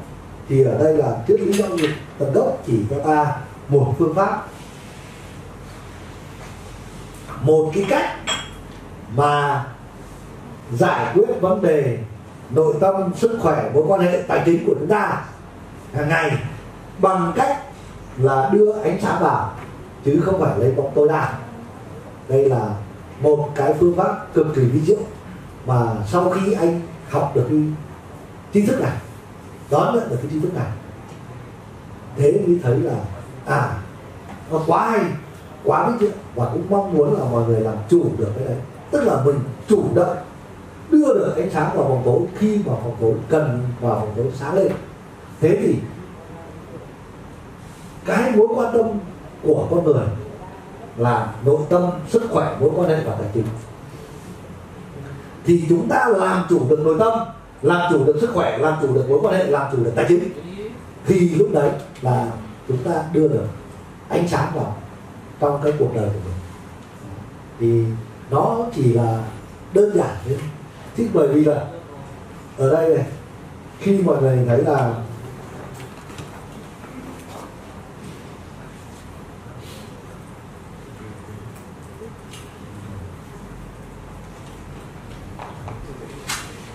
bây giờ chúng ta đi làm là chúng ta kiếm được tiền, đúng không?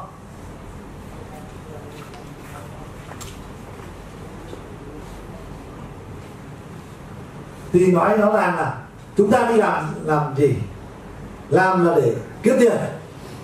Thế kiếm tiền làm gì? Kiếm tiền là để nâng cao chất lượng giá trị cuộc sống, đúng không?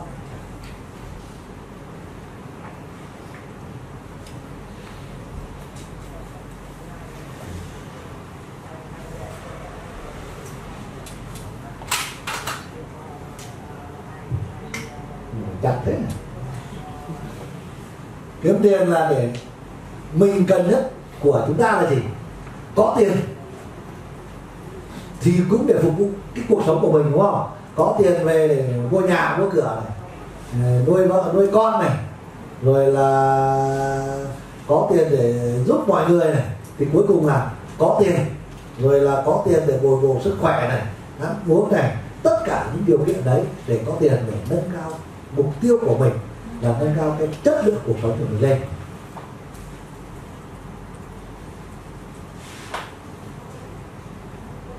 Chất lượng cuộc sống.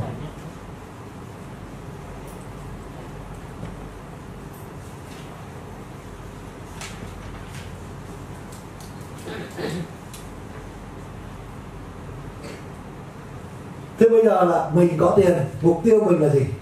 Để nâng cao chất lượng cuộc sống. Đúng không? Thế thì bây giờ là chất lượng cuộc sống thì thể hiện qua là cái gì? Thứ nhất là sức khỏe.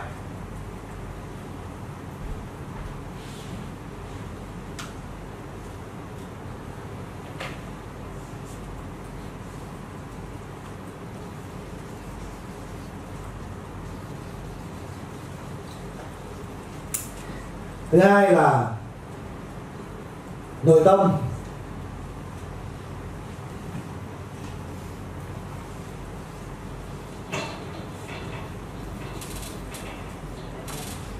Thứ ba là mối quan hệ. Đấy. thì chất lượng cuộc sống là gì? Mình có sức khỏe tốt. Để tạo chất lượng cuộc sống. Cái nội tâm mình ham vui, thì chất lượng cuộc sống được tăng lên. Mối quan hệ tốt, đó là chất lượng cuộc sống. Thì như thế thì nếu như mình có sức khỏe, có nội tâm tốt, có mối quan hệ tốt, thì có nghĩa là gì? Chất lượng cuộc sống mình tốt thì không nghĩa là mình đang có tiền. Đúng không? Thì mình không có tiền thì nếu mình có tiền thì có cách nào mình là gì? Đi tạo lập giá trị. Khi mình tạo lập được giá trị, cho xã hội, mình có được công đức phước đức thì mối quan hệ xã hội tốt. Đi tạo lập giá trị thì có công đức phước đức tốt thì cái nội tâm mình an vui. Tạo lập giá trị tốt thì sức khỏe mình khỏe mạnh. Thì ở đây là có tiền lên thì mình lại đi việc tạo lập giá trị.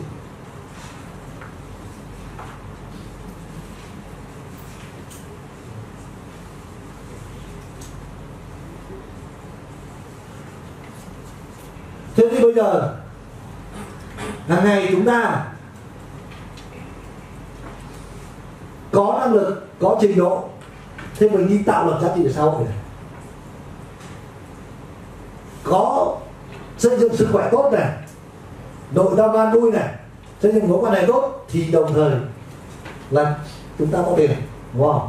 Cho nên chúng ta cứ nhăm nhăm đi kiếm tiền cũng để phục vụ cái đấy. Nhưng nếu đồng thời một lúc chúng ta đã có những cái này, thì có đồng nghĩa chúng ta đã có tiền hay không? Thì đây là một cách quan niệm để mọi người tư duy suy, suy nghĩ lại. Không phải cứ tiền là số đến được bao nhiêu tiền.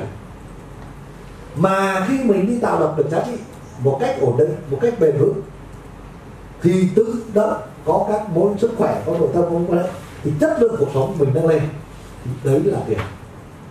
Và như thế hiểu tiền một cách là dưới dạng năng lượng nó cứ chạy đi chạy lại như thế này thì như thế thì chúng ta sẽ nghĩ một cách khác sống nó sẽ đơn giản hơn. Và nó có một cuộc sống là an vui hơn và có một cuộc sống nó chất lượng hơn, tốt hơn. Mình có nhiều mối quan hệ tốt hơn và mình có một cuộc sống nó ổn định hơn. Chứ không phải là à đấy nhắm nhắm xuống để bán hàng, để kiếm tiền. Kiếm tiền rồi thì mà không quay lại, kiếm tiền có tiền rồi, có phải quay lại xây dựng cái này không? Thế thì bây giờ thay vì cái chuyện đấy, bán được hàng thì mình quay lại, mình mời các ông đi. Thế bây giờ mình xuống giúp các ông, tạo lập giá trị trước đi.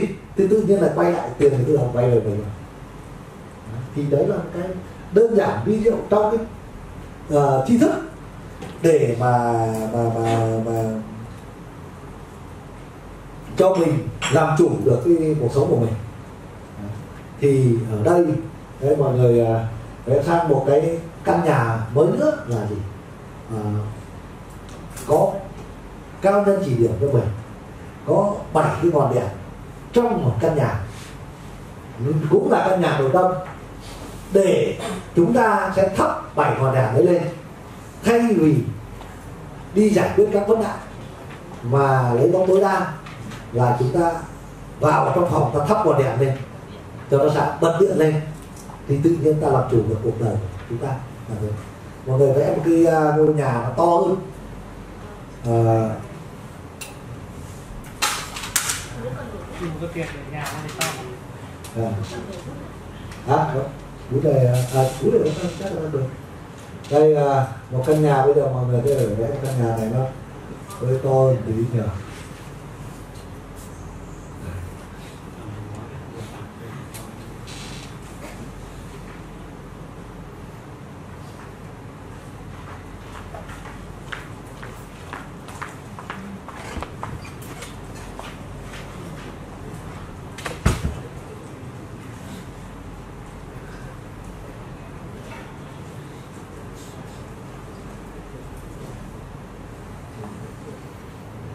Đấy.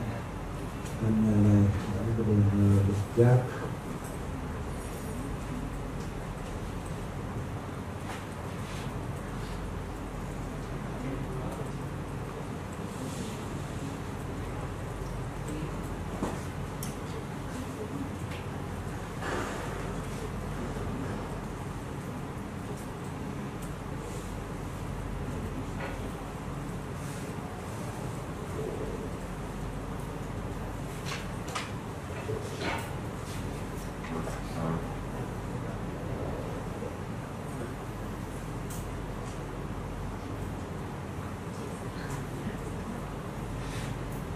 Đấy.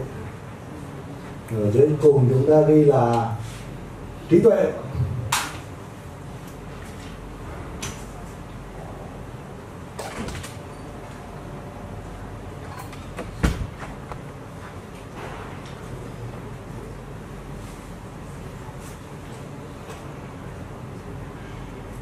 Bên trái chúng ta ghi là tâm thái, bên phải là nhân cách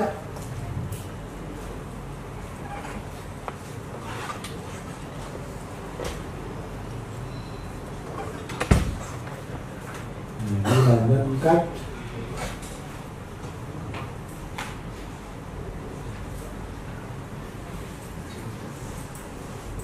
ở giữa là phẩm chất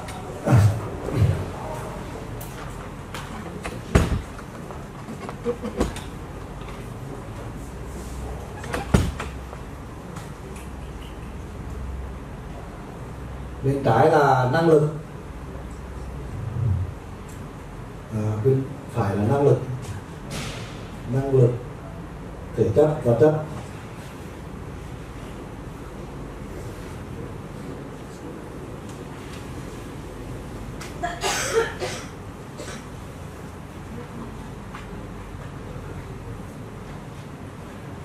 bên trái là thể chất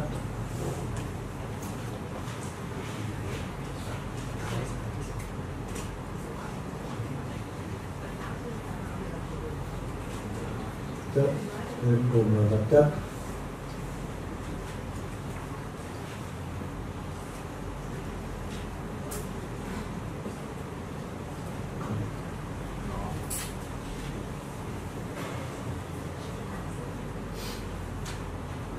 thì uh,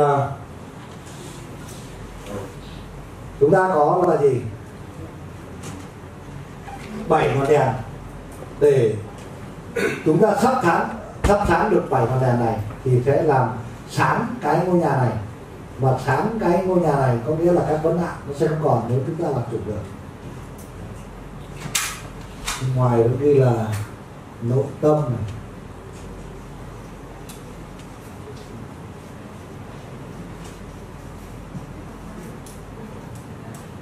sức khỏe.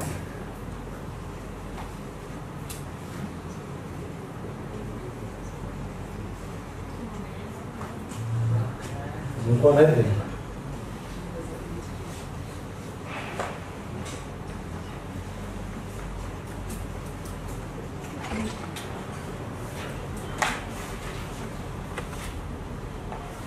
tài chính này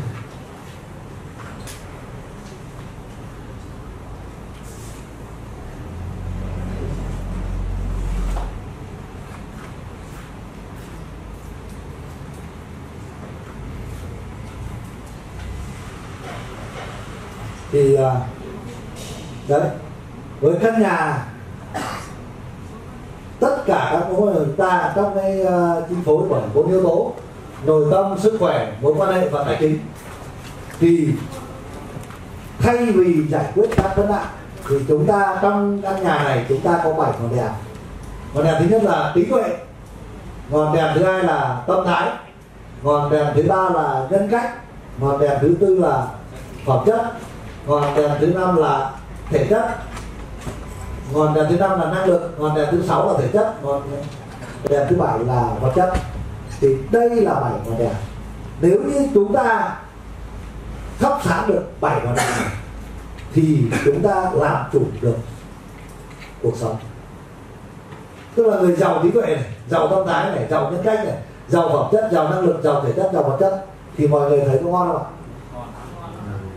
Thay vì kiếm nhiều tiền thì mới chỉ giải quyết được một vấn đề thế này có nghĩa là gì? Làm xây nhà trên đất. Xây xây nhà trên đất.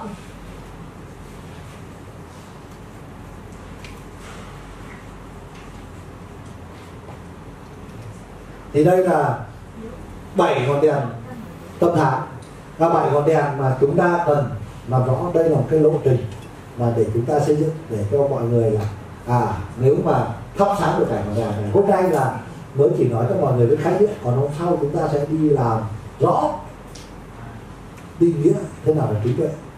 Làm giàu trí tuệ là như thế nào? Tâm thái. Làm giàu tâm thái là cái gì? Nhân cách, làm giàu nhân cách là gì? Phẩm chất, làm giàu phẩm chất là gì? Năng lực, làm giàu năng lực là cái nào? Thể chất, làm giàu thể chất là cái gì?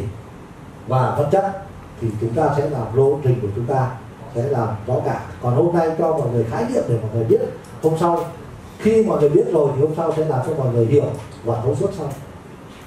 Thì đây là cái mà chúng ta là học cái nguyên lý ánh sáng.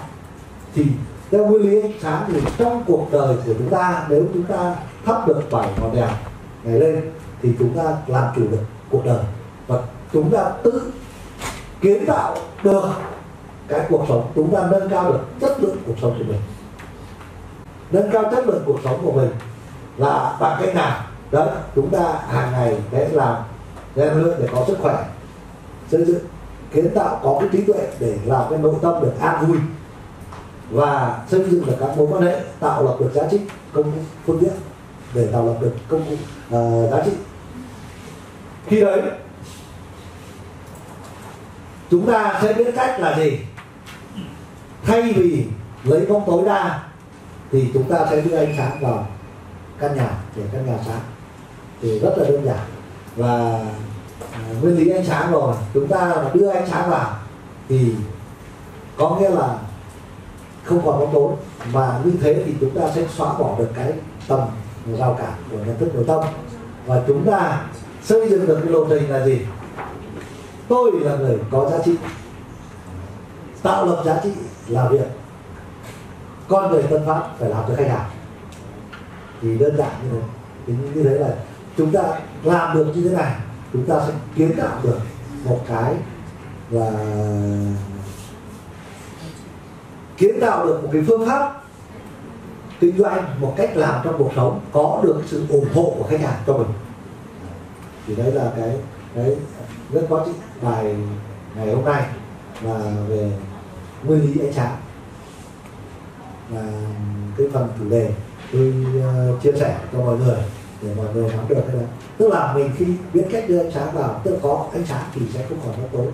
Trong cuộc sống nếu như chúng ta cứ đi giải quyết các vấn đề bóng tối ngồi chỉ trước nhau à sao này là cái này sao lại cái kia? Đấy, sao lại xuống ờ, ông này bán tranh của tôi khách hàng này của tôi sao ông để bán tranh? Nếu mà đi giải quyết các tranh chấp đấy thì giống như chúng ta đang đi lấy bóng tối ra mà chúng ta đưa ánh sáng vào là bằng cách gì? Chủ động tạo lập giá trị, đi đâu cũng được. Khách hàng, con người là vốn quý. Khách hàng là thực đấy mình đi tạo lập giá trị được cho khách hàng, thì khách hàng tin tưởng mình để bán được hàng. Chứ mình không thể tin tưởng tư duy là đi bán hàng thì sẽ sợ ông khác bán mất. Nhưng tư duy là tôi đi tạo lập giá trị. Nếu người khác tạo lập giá trị thì tôi lại đi. Chỗ khác tôi tạo lập giá trị. Mục tiêu của tôi là có tạo lập được giá trị. Đấy là trách nhiệm của tôi, đấy là cuộc sống phương pháp làm của tôi. Thì lúc đấy thì làm gì còn cái là tranh cãi, giành nhau làm gì? Lúc đấy là xác định hỏi luôn, chỗ này là ai làm chưa? Tạo lập giá trị nếu không, để tôi xây dựng tạo lập giá trị và ai cũng làm như thế cả. Không phải cho khách hàng, cho bạn bè, cho đồng nghiệp, cho đối tác. Thì tự nhiên mình xây dựng được một cuộc sống nó đơn giản hơn, nó nhẹ nhàng hơn. Thì mới là đúng nghĩa là con người là tân pháp là gì? Có giá trị cốt lõi của mình. Năm yếu tố là nhân lễ nghĩa, trí tín trên bốn đồng lực sinh tồn. Xác định các đồng nghiệp của mình là trong một cái nhà. Công ty là một tổ chức. Đi ra ngoài khách hàng là xã hội. Thế mình xác định là tạo lập giá trị cho xã hội. Có lợi cho xã hội không? Về. Có lợi cho công ty không? Có lợi trong gia đình không? Và lúc đấy thì nó sẽ có lợi cho mình. Và là bốn động lực sinh tồn chứ không phải là làm vì mình. Mà nếu chỉ làm vì mình thì ý được không thì sẽ khó, có được cái lòng người ủng hộ. Còn khi đã có lòng người ủng hộ, khi có con người ủng hộ, thì mọi cái việc làm mà mong muốn của mình đều dễ dàng để trở thành hiện thực thì cái đấy là cái để mọi người thấy được cái cái đấy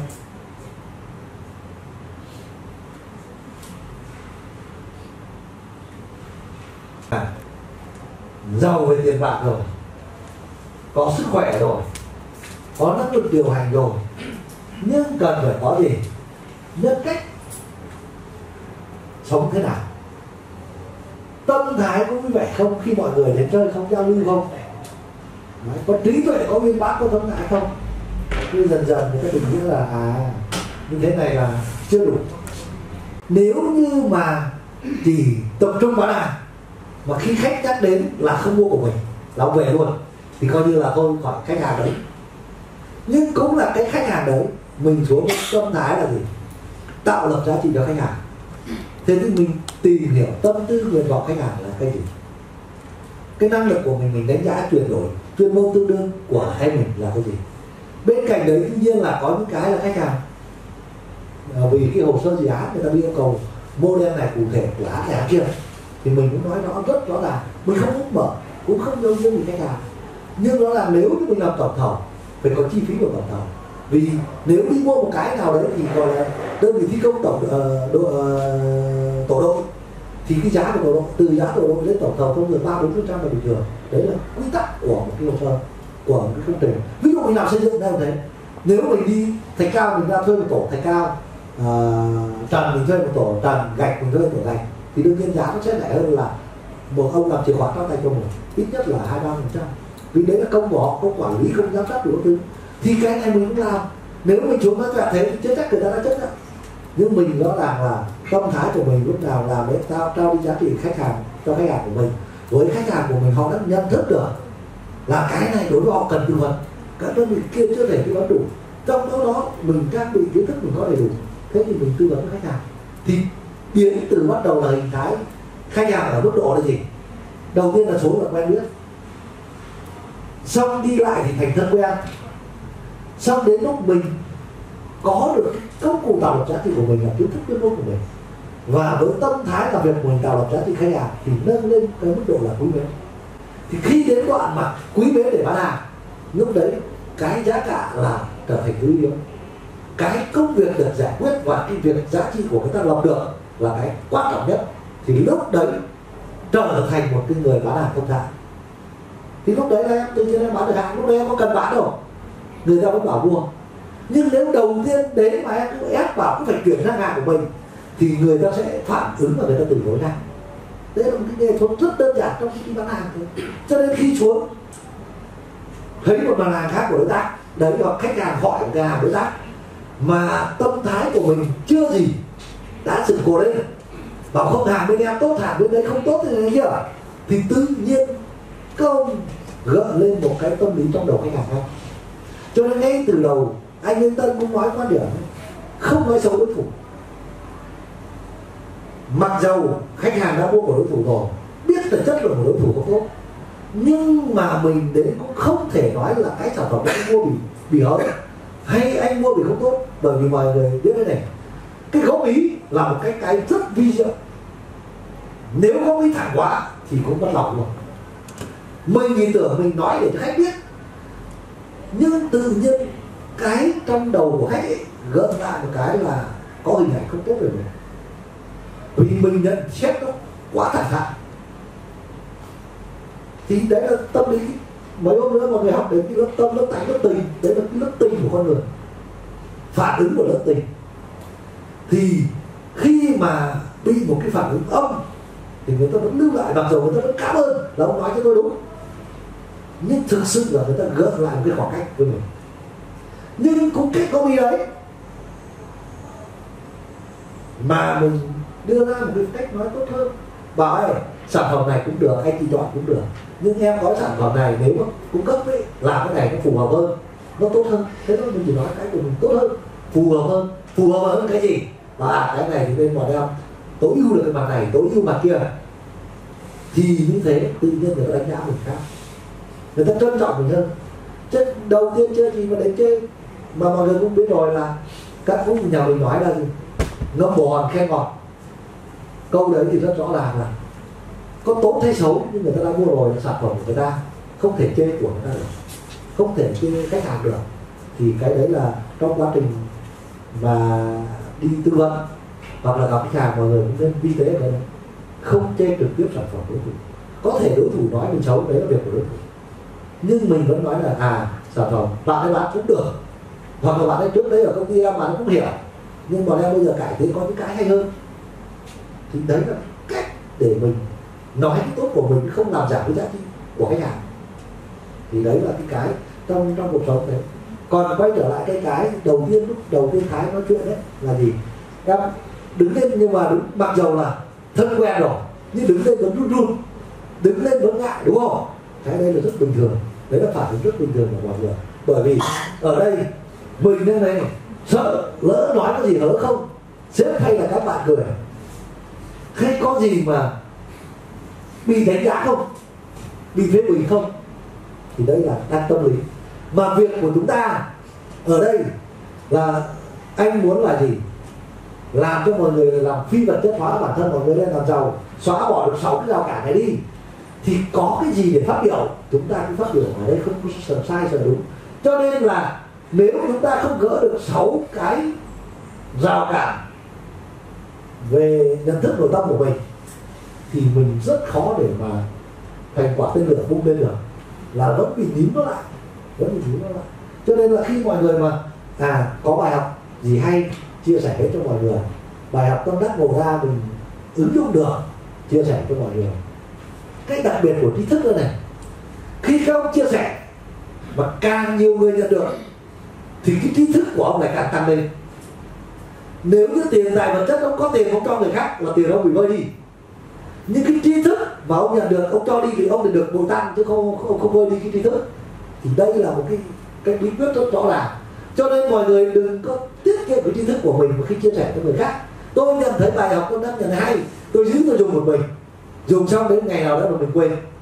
Nhưng nếu như bây giờ mình có được bài học con đã ngồi ra nói ra đây, những người khác có thể đang lờ mờ.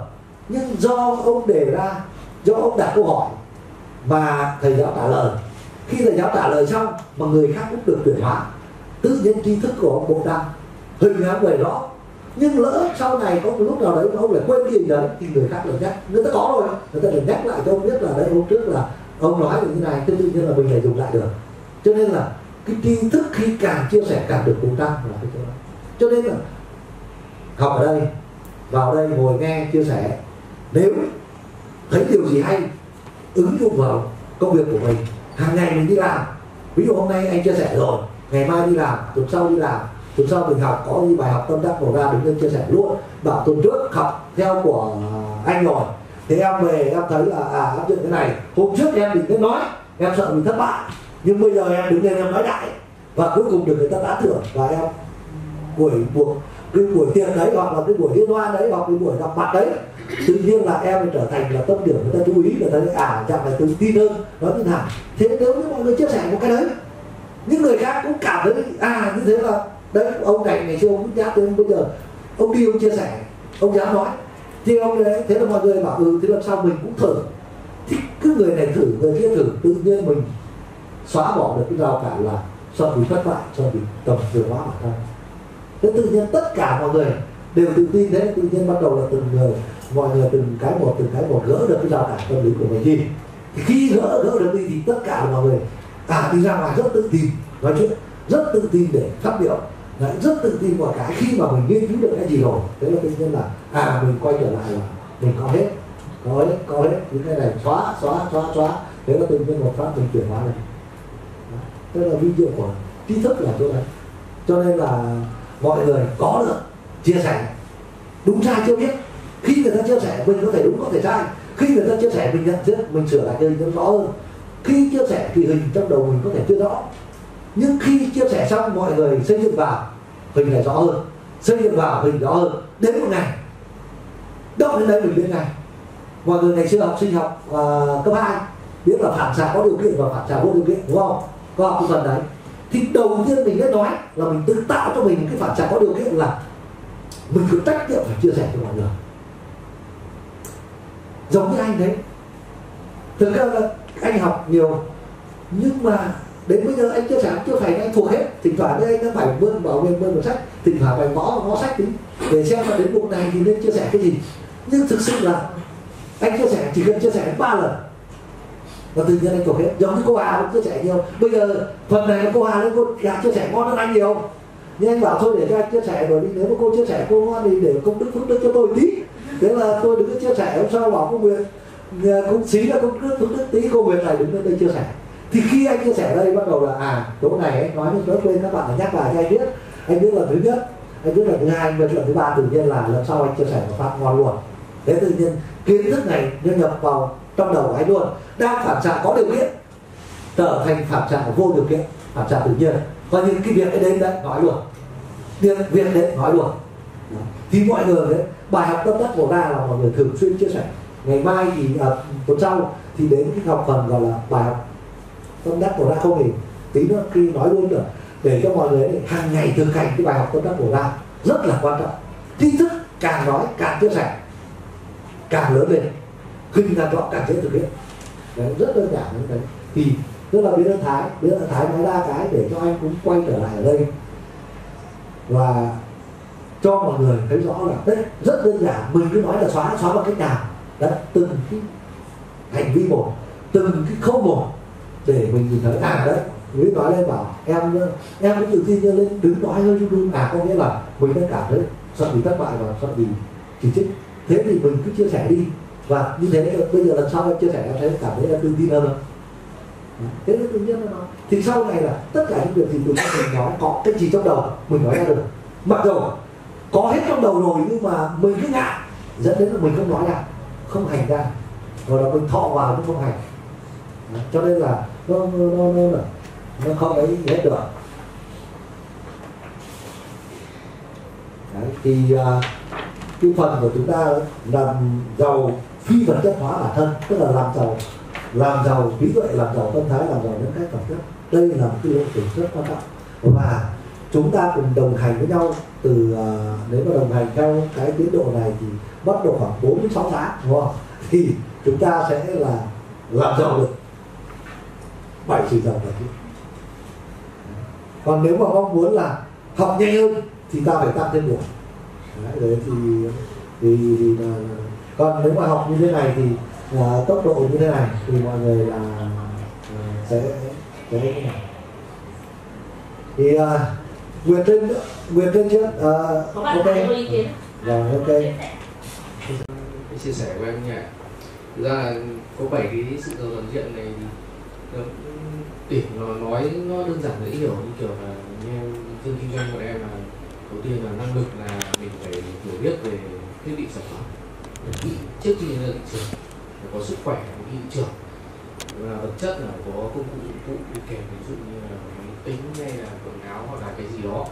Đấy, thế thì thực ra là cái này em kinh doanh đây cũng có người mới, người cũ thì cũng biết rằng là khi mà mình bán hàng rồi thì sẽ thì nào cũng có cái trường hợp là có khách người ta sẽ giới thiệu cho mình khách mới.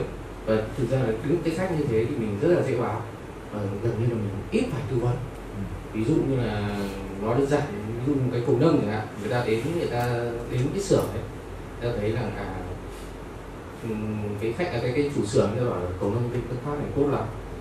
Dày dặn rồi người ta ta chứng kiến trực tiếp. Về này kia thì khi đến khi mà mình người ta có nhu cầu người ta giới thiệu người khác mình mình bán cái đấy cũng rất là dễ. Đấy thì khi đấy với cả cái đấy là mình cũng nhiều khi mình cũng phải tạo được cái ờ, cái phi vật chất tức là để mà bán cái cầu đấy cho khách chẳng hạn thì nhiều khi là có những cái trường hợp ví dụ như hồi xưa em mới vào thì nhiều khi em phải đi đến cái, cái thị trường ví dụ thị trường quanh em phải đi đến 5 lần mới bán được cái cầu này nhưng mà thực ra mình đến thì mình đến mình gặp khách thôi chứ mình bảo là cũng là cũng đi chào hàng thì bảo anh ơi có mua gì không này như kia nhưng mà đến đến lần thứ hai ba chỉ mình chỉ đến mình hỏi thăm khách này kia rồi anh có cần phải uh, sửa chữa bảo dưỡng hay cái gì không? Đấy thì mình cứ ngồi mình mình mình, mình phải tạo được cái quan hệ với khách hàng đã. Thế thì thực ra là cái đấy thì bọn em cũng đang cố gắng để xây dựng nhưng mà có một cái trường hợp em cũng hỏi uh, sếp như này. Thực ra là khi mà em có một khách uh, mình cũng tạo được cái mối quan hệ rất tốt và mình đến mình khách đã ủng hộ mình rồi. Thế thì uh, nó lại xảy ra một trường hợp là đấy em bán cái ờ, xưởng người ta cũng cầu nâng người ta một lốp với rửa xe nên khí thế thì nó lại liên quan đến đấy có một cái máy rửa xe của mình ấy. nó bị hỏng rất là nhiều lần. Mà mình em là kinh doanh cũng theo sát và yêu cầu của bảo hành đến sửa sửa rất nhiều lần. Và đến sửa đến lần thứ ba thì em có đề xuất là thay mới. Nhưng mà nó vẫn hỏng đấy rồi uh, thế thì thực ra là khách nó người ta cũng chia sẻ là em thực ra là em cũng rất quý em. Nhưng mà thực ra là đấy em hiểu thực tế cái chất lượng của thiết bị của em nó như thế. Anh cũng thấy cái chất lượng với cái cái cái, cái việc bảo hành của em rất là tốt. Nhưng mà chất lượng như thế thì thực sự là nếu mà để mà bảo anh cũng cố gắng thiệu em thì rất là khó.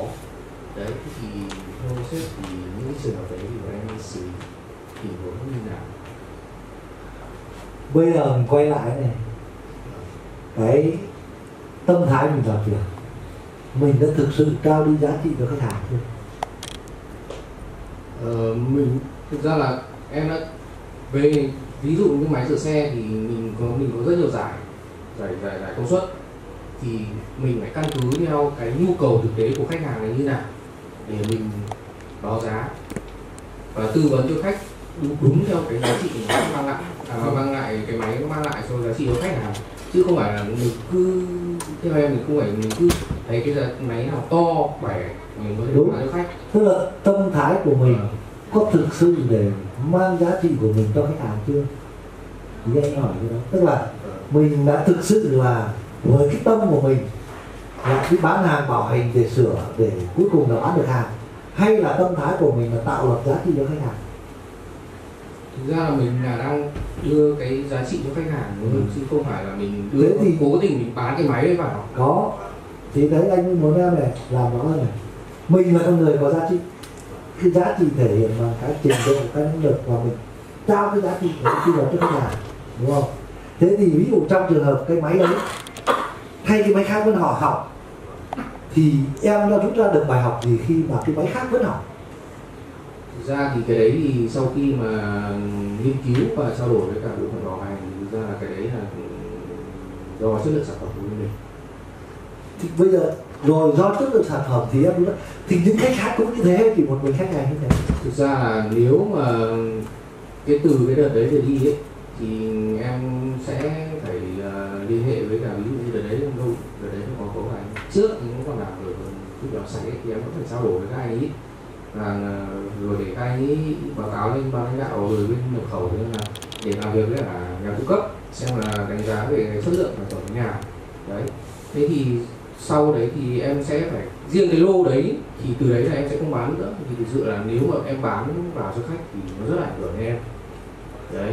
Cái thứ hai là ừ, sau khi mà um, có cái tương tác với cả các bộ phận phòng ban khác thì em cũng khi mà chất lượng sản phẩm như thế em cũng yêu cầu công ty các bộ phận đấy phải đánh giá lại đấy thì rồi dần dần khi mà cái lô mới người ta thay về thế nào đấy thì mình sẽ phải ngồi mình xem chất lượng sản phẩm nào rồi mình mới có thể mình mình mình mình đưa giá trị được cái cho khách hàng chứ không phải là cứ có hàng là mình Ok. bán. Đấy chính vì thế thì anh mới hỏi này à, cái này thì hôm sau có cái chủ đề nó sẽ làm rõ phần đấy em sẽ rõ hơn. Nhưng ở đây thì anh nói qua này mình đã thực sự cảm giác mình là người có giá trị để đi tạo lập giá trị hay chưa? Thể hiện qua cái khâu đấy. Và anh thì nói bây giờ này xuống khách hàng phản ánh đấy là cái vụ việc. Những cái tâm thái thực sự mình là người đi tạo lập giá trị chưa? Bởi vì ở đây anh chưa nói sản phẩm tốt hay xấu nữa. Vâng Còn lại khi dùng đến chuyện đấy có vấn đề quay lại chính mình. Xem lại mình như tư vấn thế này hàng hóa của mình công ty mình có thực sự có vấn đề không? Vấn đề thì quay trở lại. Mình là người chủ động họp đề xuất họp hành các phòng ban lại kể cả từ xuất nhập khẩu kỹ thuật bảo hành đã đưa ra chạy test thử thực sự trước khi giao tiếp cho khách hàng không? Nếu như bây giờ lúc anh mình học nguyên lý ánh sáng cái máy xuống hỏng em lại đi sửa cái máy. Máy xuống đưa xuống cái máy khác xuống vẫn hỏng, em đi sửa cái máy. Thì bản chất là cũng đang giống như mình đang lấy bóng tối ra khỏi đường sáng nhưng thay vì cái việc đấy, bây giờ em chủ động lại. Để cái việc này không xảy ra nữa. Khi đứng trên vấn nạn phát sinh. Mình quay lại vào nền đất thái của mình là gì? Với cái máy này khác, ok. Mình không thể nói ra cái bộ phận khác nữa cội nguồn hôm sau học đến phần là cội nguồn cuộc sống bắt nguồn từ chúng tôi. Chứ mình có chủ động kiến tạo ra cái đấy không? Với cái máy đây bây giờ, ok, với ông khách này tôi đã bị dính rồi. Mua đây máy thì dính rồi, bây giờ tôi muốn thực vụ sở thích, cùng cả kỹ thuật công nghệ, cùng cả bảo hành, ngồi chạy test thử em có thể đưa ra quy trình là test bao nhiêu giờ, chạy bao nhiêu giờ. Cảm thấy không ổn, không đưa cho khách nữa. Chuyển model khác, hoặc đổi cái sản phẩm khác chứ không phải là tiếp tục đưa xuống rồi hỏng để nó phản ánh. Dẫn đến là gì?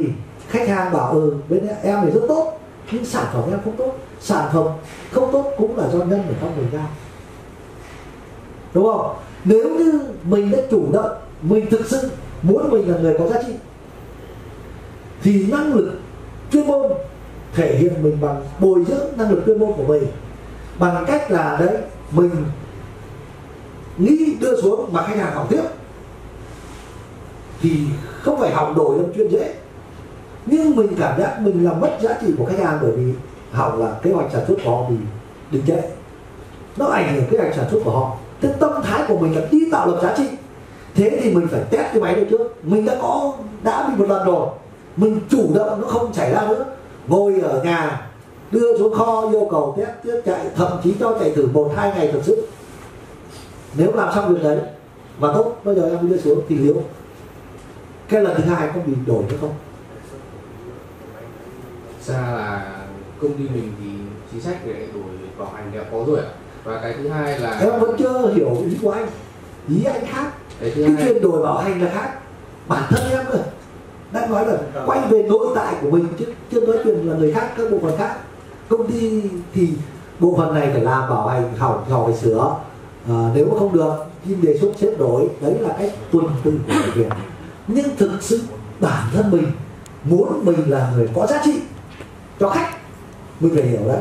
Tức là lần sau tôi đưa máy xuống cho ông khách này với cái máy này không lặp lại cái lần thứ nhất đã xảy ra. Mà để làm sao không lặp lại thì rõ ràng mình phải làm trước những cái động tác gì cần thiết. Nhưng mình là những phó mặt giao cho đội kỹ thuật. Ông chạy máy chúng tôi xuống đi nó không test nó đưa xuống. Cuối cùng nó vấn đề nó mới xảy ra. Cho nên là quay trở lại là cô nguồn cuộc sống bắt nguồn với chơi. Chúng tôi mà. Thì cái quyết định của mình đấy là mình đã làm đã đủ chưa? Mình đã làm tới chưa? Khi mà mình nâng cái giá trị của mình lên. Nó, nó khác biệt đấy. Không lỗi của ai cả cũng không lỗi của em. Bởi vì quy định em có quyền yêu cầu các cổ phần khác hốt trợ em. Không có lỗi. Nhưng mình mình muốn mình là người có giá trị hơn thì mình phải chủ động làm cái việc đó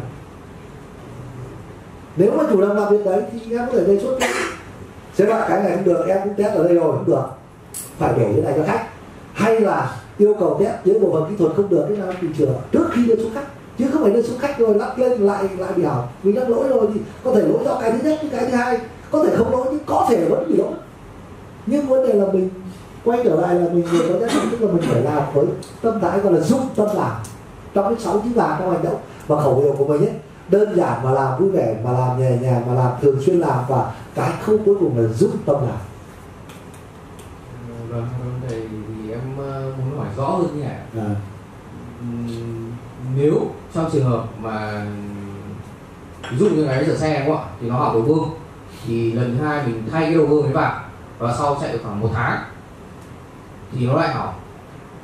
Thế thì cái thứ hai trong trong kho bây giờ hiện tại nó chỉ có cái model đấy tương đương đấy. Thế thì theo thầy thì trong trường đấy thì mình nên làm như nào? Nếu khi mình test tôi cảm thấy chưa ổn mình xin đề xuất đổi model khác mà thì anh đã nói rồi khi mình đủ tự tin rồi thì mình có thể quyền đề xuất mà model đấy là ở trong kho là không phải là model đổi sang model khác. Cuối cùng công năng vẫn tương đương đấy trong kho là còn một cái máy à còn một cái model đấy có cùng công suất như thế? Thì có ảnh hưởng gì đâu. Anh đã nói rồi không cái model đấy không được mình tư vấn với khách là bây giờ model này em hết một là anh đợi để em test lấy một lô mới. Hai là anh đổi sang model khác em test trước để em đưa cho anh. Đấy là cái, cái phương pháp làm cuối cùng này tư duy của mình là tâm thế mình muốn làm bây giờ này mình phải nói này. À, trong cái kinh doanh nhất là cái này rất vi tế. Vi tế này. Cái mong muốn của em em đặt cái mong muốn dương hay muốn âm. Ví dụ em đang muốn này công ty phải giải quyết việc này cho em vì cái đích cuối cùng là gì? Em phải thỏa mãn khách hàng để em thu được tiền. Tạo cái doanh số của em và cái lợi cho em. Còn cái chuyện mà công ty làm thế nào em không cần biết thì lúc đấy là ý niệm là vì âm còn ý niệm dương là gì? Khi em khởi sự lên em muốn này, thực sự em muốn tìm hiểu cái này là cái gì? Vấn đề của nó làm sao? Mặc dù mình kinh doanh nhưng mình không phải là kỹ thuật.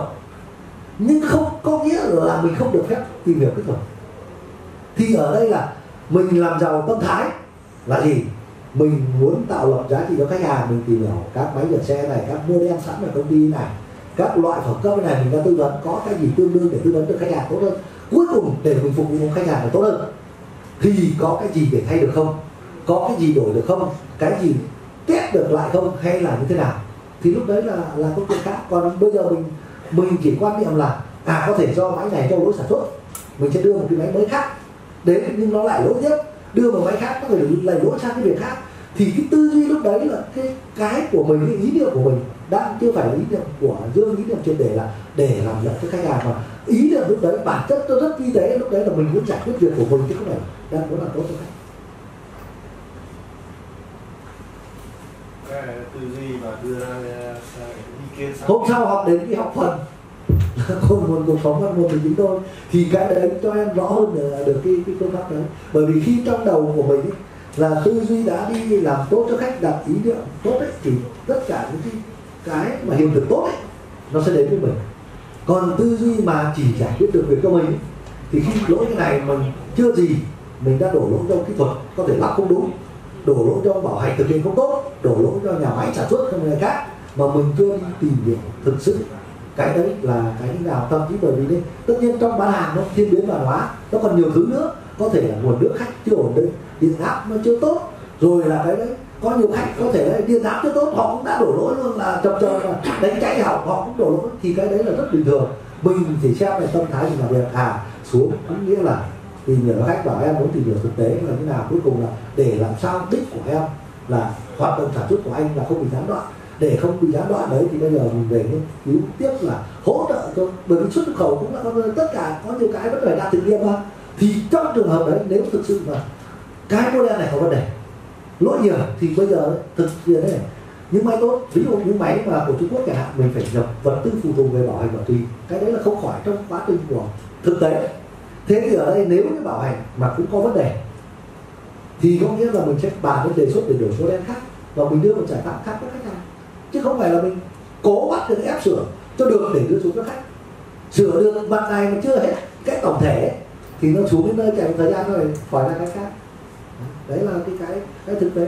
Còn đương nhiên là trong quá trình làm hàng hóa có những uh, lúc là thuận lợi tất cả thôi. Có những lúc là có thể có biến cố xảy ra nhưng dù có cái bất cứ ý xảy ra đi chăng nữa mình vẫn phải xuất phát khởi cái tâm.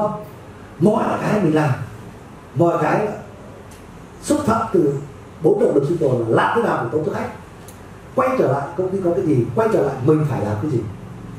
Và mình phải giám sát cái gì để phục vụ cái đấy? Vì sau một lần em giám sát, sau một lần em hỗ trợ phòng xuất nhập khẩu, hỗ trợ phòng kỹ thuật để theo dõi cùng giám sát để làm cái em đấy, thì kiến thức em cũng được nâng lên một bậc lần sau những trường hợp đấy em làm chủ em không sẽ sẽ không lặp lại. Thì nó rất đơn giản như thế. Cảm ơn rồi, biết ơn em bối cảnh của gì nhỉ? Văn thái. Là văn thái. Thái. Thái, đúng không? Bối cảnh của văn thái hỏi rất hay. Cái này là mọi người đi bán hàng. Rất là dễ cảm nhưng khi mà gặp chuyện như thế này, đấy, thay vì cái chuyện mình kêu ca bộ phận bảo hành, kêu ca bộ phận này, kêu ca bộ phận kia, thì mình phải quay lại là, tôi là người có giá trị thì giá trị của tôi là cái gì? Thì hôm sau mình sẽ làm rõ. Như thế nào là giá trị? Tâm thái làm việc như nào? Mọi cái như nào thì mình giải quyết được vấn đề này. Thì vấn đề thì nguyên lý ánh sáng rồi. Làm được vấn đề này thì vấn đề kia nó không xảy ra. Ok. Đấy. cái mà thái chia sẻ đấy nó trong thực tế cũng phát sinh rất là nhiều. Ví dụ em cũng ờ, muốn làm rõ tí tại vì như đợt trước nhà em mà mua cái máy giặt ấy thì ờ, cũng có một bạn kinh doanh khi mình ờ, đến mình mua là bạn ấy tư vấn cũng rất là nhiệt tình. Thế nhưng mà khi lắp đặt thiết bị vào cho sử dụng rồi thì chỉ được hai ba ngày thì cái thiết bị đấy nó bị trục chặt thế trục chặt thì bạn ấy cũng gọi kỹ thuật đến để bảo hành ờ, bảo trì cho cho, cho khách ấy. Thế nhưng mà sửa mãi thì cũng không được. Và đích thân bạn ấy người gọi là kết hợp cùng với kỹ thuật đến tận khách hàng đến tận nhà chị để để làm ấy.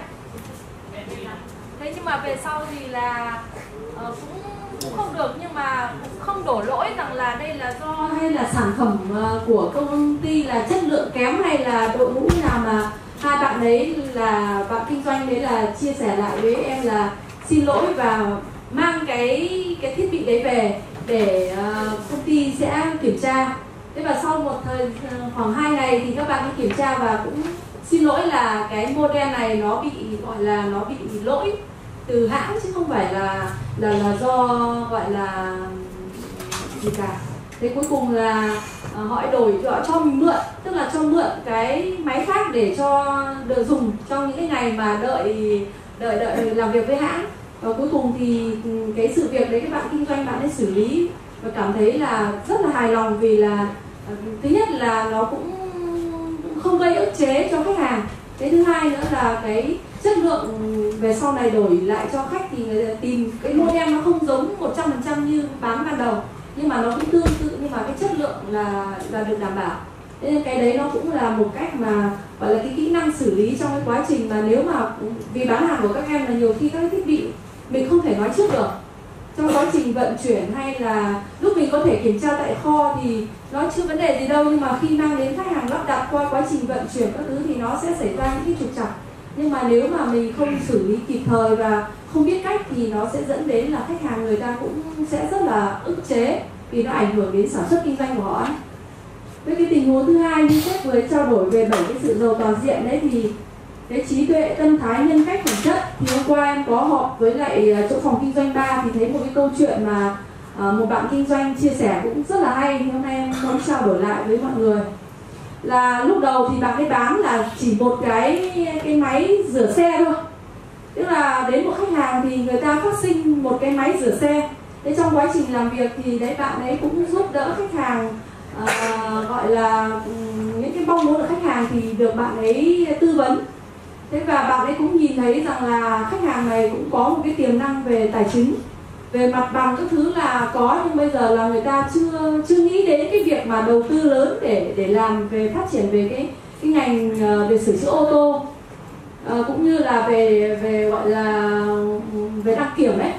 Thế và cuối cùng thì bạn ấy bán một cái máy rửa xe thôi nhưng ờ, bạn ấy đã biết cách tư vấn cho khách hàng hướng tới những cái sản phẩm mà Tân Phát hiện nay đang cung cấp và một thời gian sau thì là khách hàng người ta thay đổi ờ, là sang phát triển về mảng đăng kiểm. Và một thời gian ngắn là bạn đã bán liền lúc được hai trạm đăng kiểm. Đấy thì em thấy rằng là cái cách mà uh, mang đến cái giá trị của mình mang đến cho khách hàng nó cũng rất là quan trọng nhưng thể hiện ở cái cái bảy cái sự giàu toàn thiện về phi vật chất này. Tức là về bằng thương hiệu của Tân Phát này đúng không ạ? Tân Phát có những cái thương hiệu cái giá trị rồi những cái sản phẩm đấy và quan trọng nhất nó là cái cái cách tư vấn của một nhân viên kinh doanh với một cái cái tâm thế rất là tốt và dụng tâm. Thì khách hàng người ta đón nhận được cái cái sự gọi là uh, chân thật đó thì người ta sẽ sẽ mua hàng của mình thôi. Chứ còn ngay từ đầu đến mà lại bảo là bên em có những sản phẩm này em muốn bán để ấy thì em nghĩ chắc chắn là nó sẽ không không thành công được trong cái quá trình mình tiếp cận với khách hàng thì hôm qua em đi họp ở phòng kinh doanh ba em thấy rằng là những cái câu chuyện đấy nó rất là thực tế. Mà ừ, các bạn kinh doanh khi đi thực tế thị trường đã phát sinh và các bạn ấy đã giải quyết thành công được. Đó chính là à, hướng đến cái à, gọi là cái sứ mệnh mà của Tân Phát đang hướng tới là trao đi cái giá trị à, giải pháp cho khách hàng. Đấy thì em nghĩ rằng là uh, cái những cái mà uh, giá trị mà những cái bài giảng mà sếp mang lại nó cũng rất là tốt trong cái quá trình mà mình áp dụng vào cái công việc thực tế hàng ngày. Đấy bởi vì làm cái gì thì làm nếu mà mình không có một cái tâm thái tốt một cái uh, trí tuệ thì mình cũng không thể nào thành công được. Đấy thì uh, em muốn chia sẻ cái hiện thực với cho tất cả mọi người.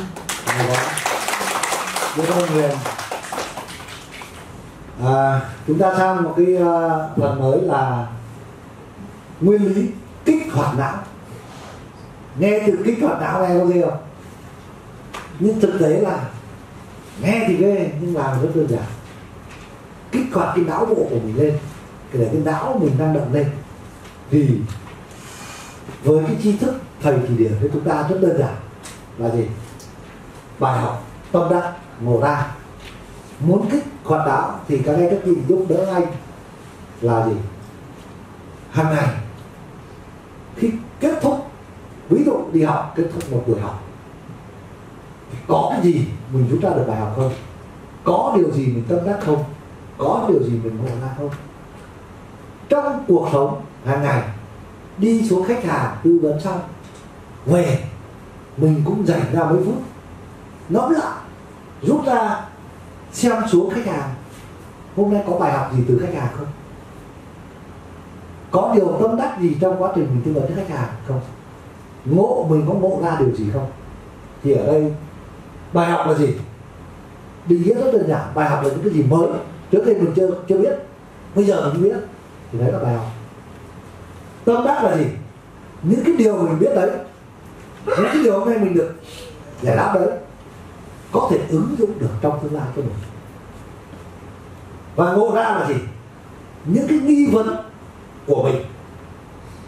Những cái câu hỏi của mình chưa giải quyết được, mà hôm nay được giải quyết, nói được, gỡ ra được, giải tỏa được, và mình có lời giải thì gọi là ngộ ra. Trên hàng ngày, đấy, mọi người giúp anh là luôn luôn có bài học tâm đắc ngộ ra chia sẻ. Thì khi mà có chia sẻ được cái bài học tâm đắc ngộ ra, thì bắt đầu não bộ mình bắt đầu nó phải khởi động.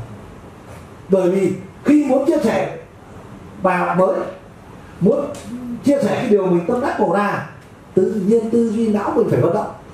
Nói cũng sợ sai chứ. Thế là mình phải nghĩ. Mình nghĩ là à, hôm qua vào cái thời điểm đấy lúc đấy là mình nhớ cái này sau này mà mình gặp thì mình biết dùng ngay. Nhưng đến hôm nay bây giờ nói lại chia sẻ mọi người tự nhiên quên mất. Hôm qua mình có cái điều gì đấy tâm đắc. Mình ngộ ra có điều đấy là mình ngộ ra cái điều đấy. Hoặc một cái điều tâm đắc mình nghĩ là dùng được nhưng đến bây giờ tự nhiên mình quên mất. Thế thì bây giờ là tối về ngồi viết lại. Từ hôm nay mà đến lớp để chia sẻ cho mọi người, tự nhiên mở ra, chia sẻ lại cái cho là mình lại nhớ lại. Nó lưu lại hình ảnh mà hôm qua cái điều đấy. Vào cái thời khắc đấy, mình thấy là có cái điều tâm đắc đấy là sau này có những việc như thế mình hay quá mình biết để mình ứng dụng nhưng mình không nói đến lúc là mình quên mất. Nhưng đến bây giờ, đến đây mình nói, mình chia sẻ cho mọi người, không phải trong lớp, lên về phòng, hoặc là bạn bè một chia sẻ hôm nay tớ có cái điều này bài học tâm đắc cổ ra như này.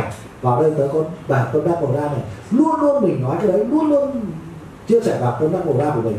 Thì nó lặp lại lặp lại cái trí não mình cứ hoạt động hoạt động thì những cái điều tốt ấy bắt đầu găm lại găm lại găm lại trong mình.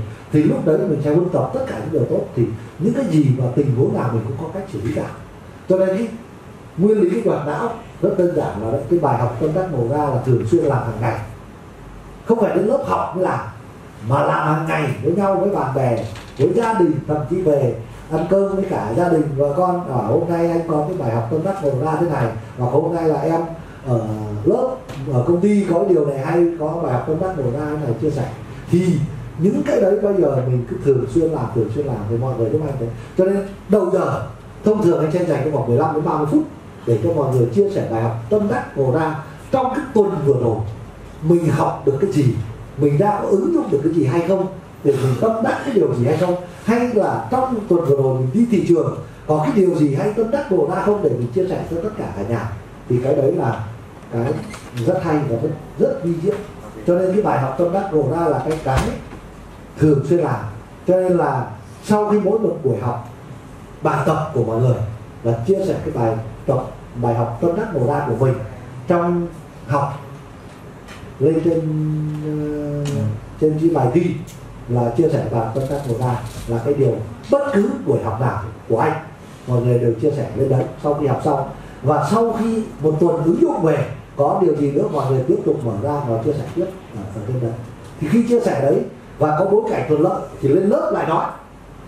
Thì lúc đấy là à, cái tư duy của mình ngày càng được khai mở khai mở ra. Khi mình hỗ trợ người khác khai mở được cái tư duy đấy hiểu được cái đấy thì đồng đồng thời mình là mình tích tạo được phước đức thì cái trí tuệ mình cũng được khai mở ra. Đấy, thì cái nguyên lý nó thế nó cứ mở dần mở dần mở dần. Thì cái vòng trí thức hôm sau mình học ấy, nó sẽ cái sự biết của mình ấy, nó sẽ mở rộng mở rộng mở rộng ra. Thì đây là cái công thức rất là uh, hữu ích cho mọi người công việc hàng ngày là uh, kích hoạt não. Chính là bài học công tác mười ba của ngày hôm nay.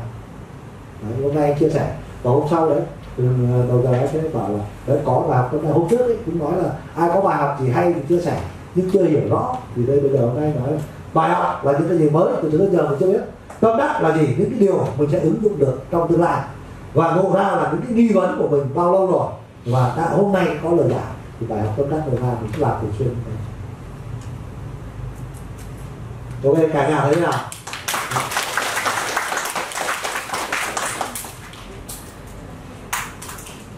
Đó dạ. à. thì uh, ok đây là cái cái học phần ngày hôm nay. Dạ. Ngày hôm nay thì uh, chắc là cũng đến đây thôi dừng uh, đến phần này. Vì để cho mọi người cũng thu nạp tri thức vào và chia sẻ bài học công tác của ra. Vì có chia sẻ nhiều quá thì vào đây à, sợ hơn hơn hơn nhiều. Nên là các kiến thức uh, hôm nay cái kiến thức thì anh sẽ chia sẻ đến với đây. Hà có bổ sung gì thêm à. À, rất là biết anh đã chia sẻ chi tiết này và em có một ý kiến này với mọi người. Thì mọi người xem là mọi người có có đồng thuận với cái việc đó không ạ?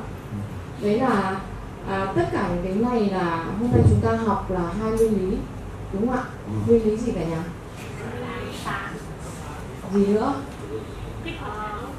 à kích hoạt não là hàng ngày chúng ta chia sẻ à, bài học tâm đắc ngộ ra. Thế nhưng mà nếu như mà bây giờ chúng ta học xong chúng ta nói ở trong lớp này xong rồi đi ra thì chúng ta còn nhớ không ạ? Theo các anh chị là chúng ta còn nhớ được không? À vậy thì bây giờ à, em cũng rất là mong muốn bên phòng hành chính ấy, bởi vì, vì bởi vì chúng ta đã có cái phần mềm để theo dõi cái này rồi thì bây giờ các anh chị hôm nay ai tham gia học cái buổi này ấy, thì bây giờ hàng ngày này chúng ta sẽ ứng dụng những cái tri thức này lên tất cả những mối quan hệ của chúng ta. Giả sử em đây là cái phần gợi ý của em nhá. Ví dụ như ngày mai là thứ bảy sau ngày kia là chủ nhật. Đến đến hết cái ngày thứ năm tuần sau đúng không ạ?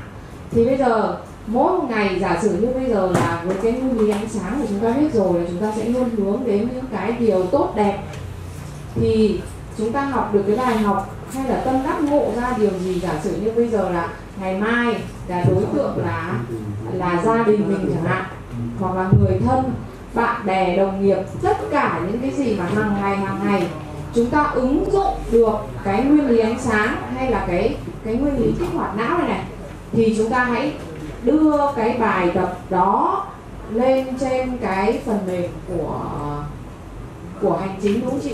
Có đúng không? Đấy có hoặc là ở ở ở cái mục đào tạo của chúng ta là có cái mục đó. Thì khi đó các anh chị sẽ luôn luôn ngày nào cũng được nhắc.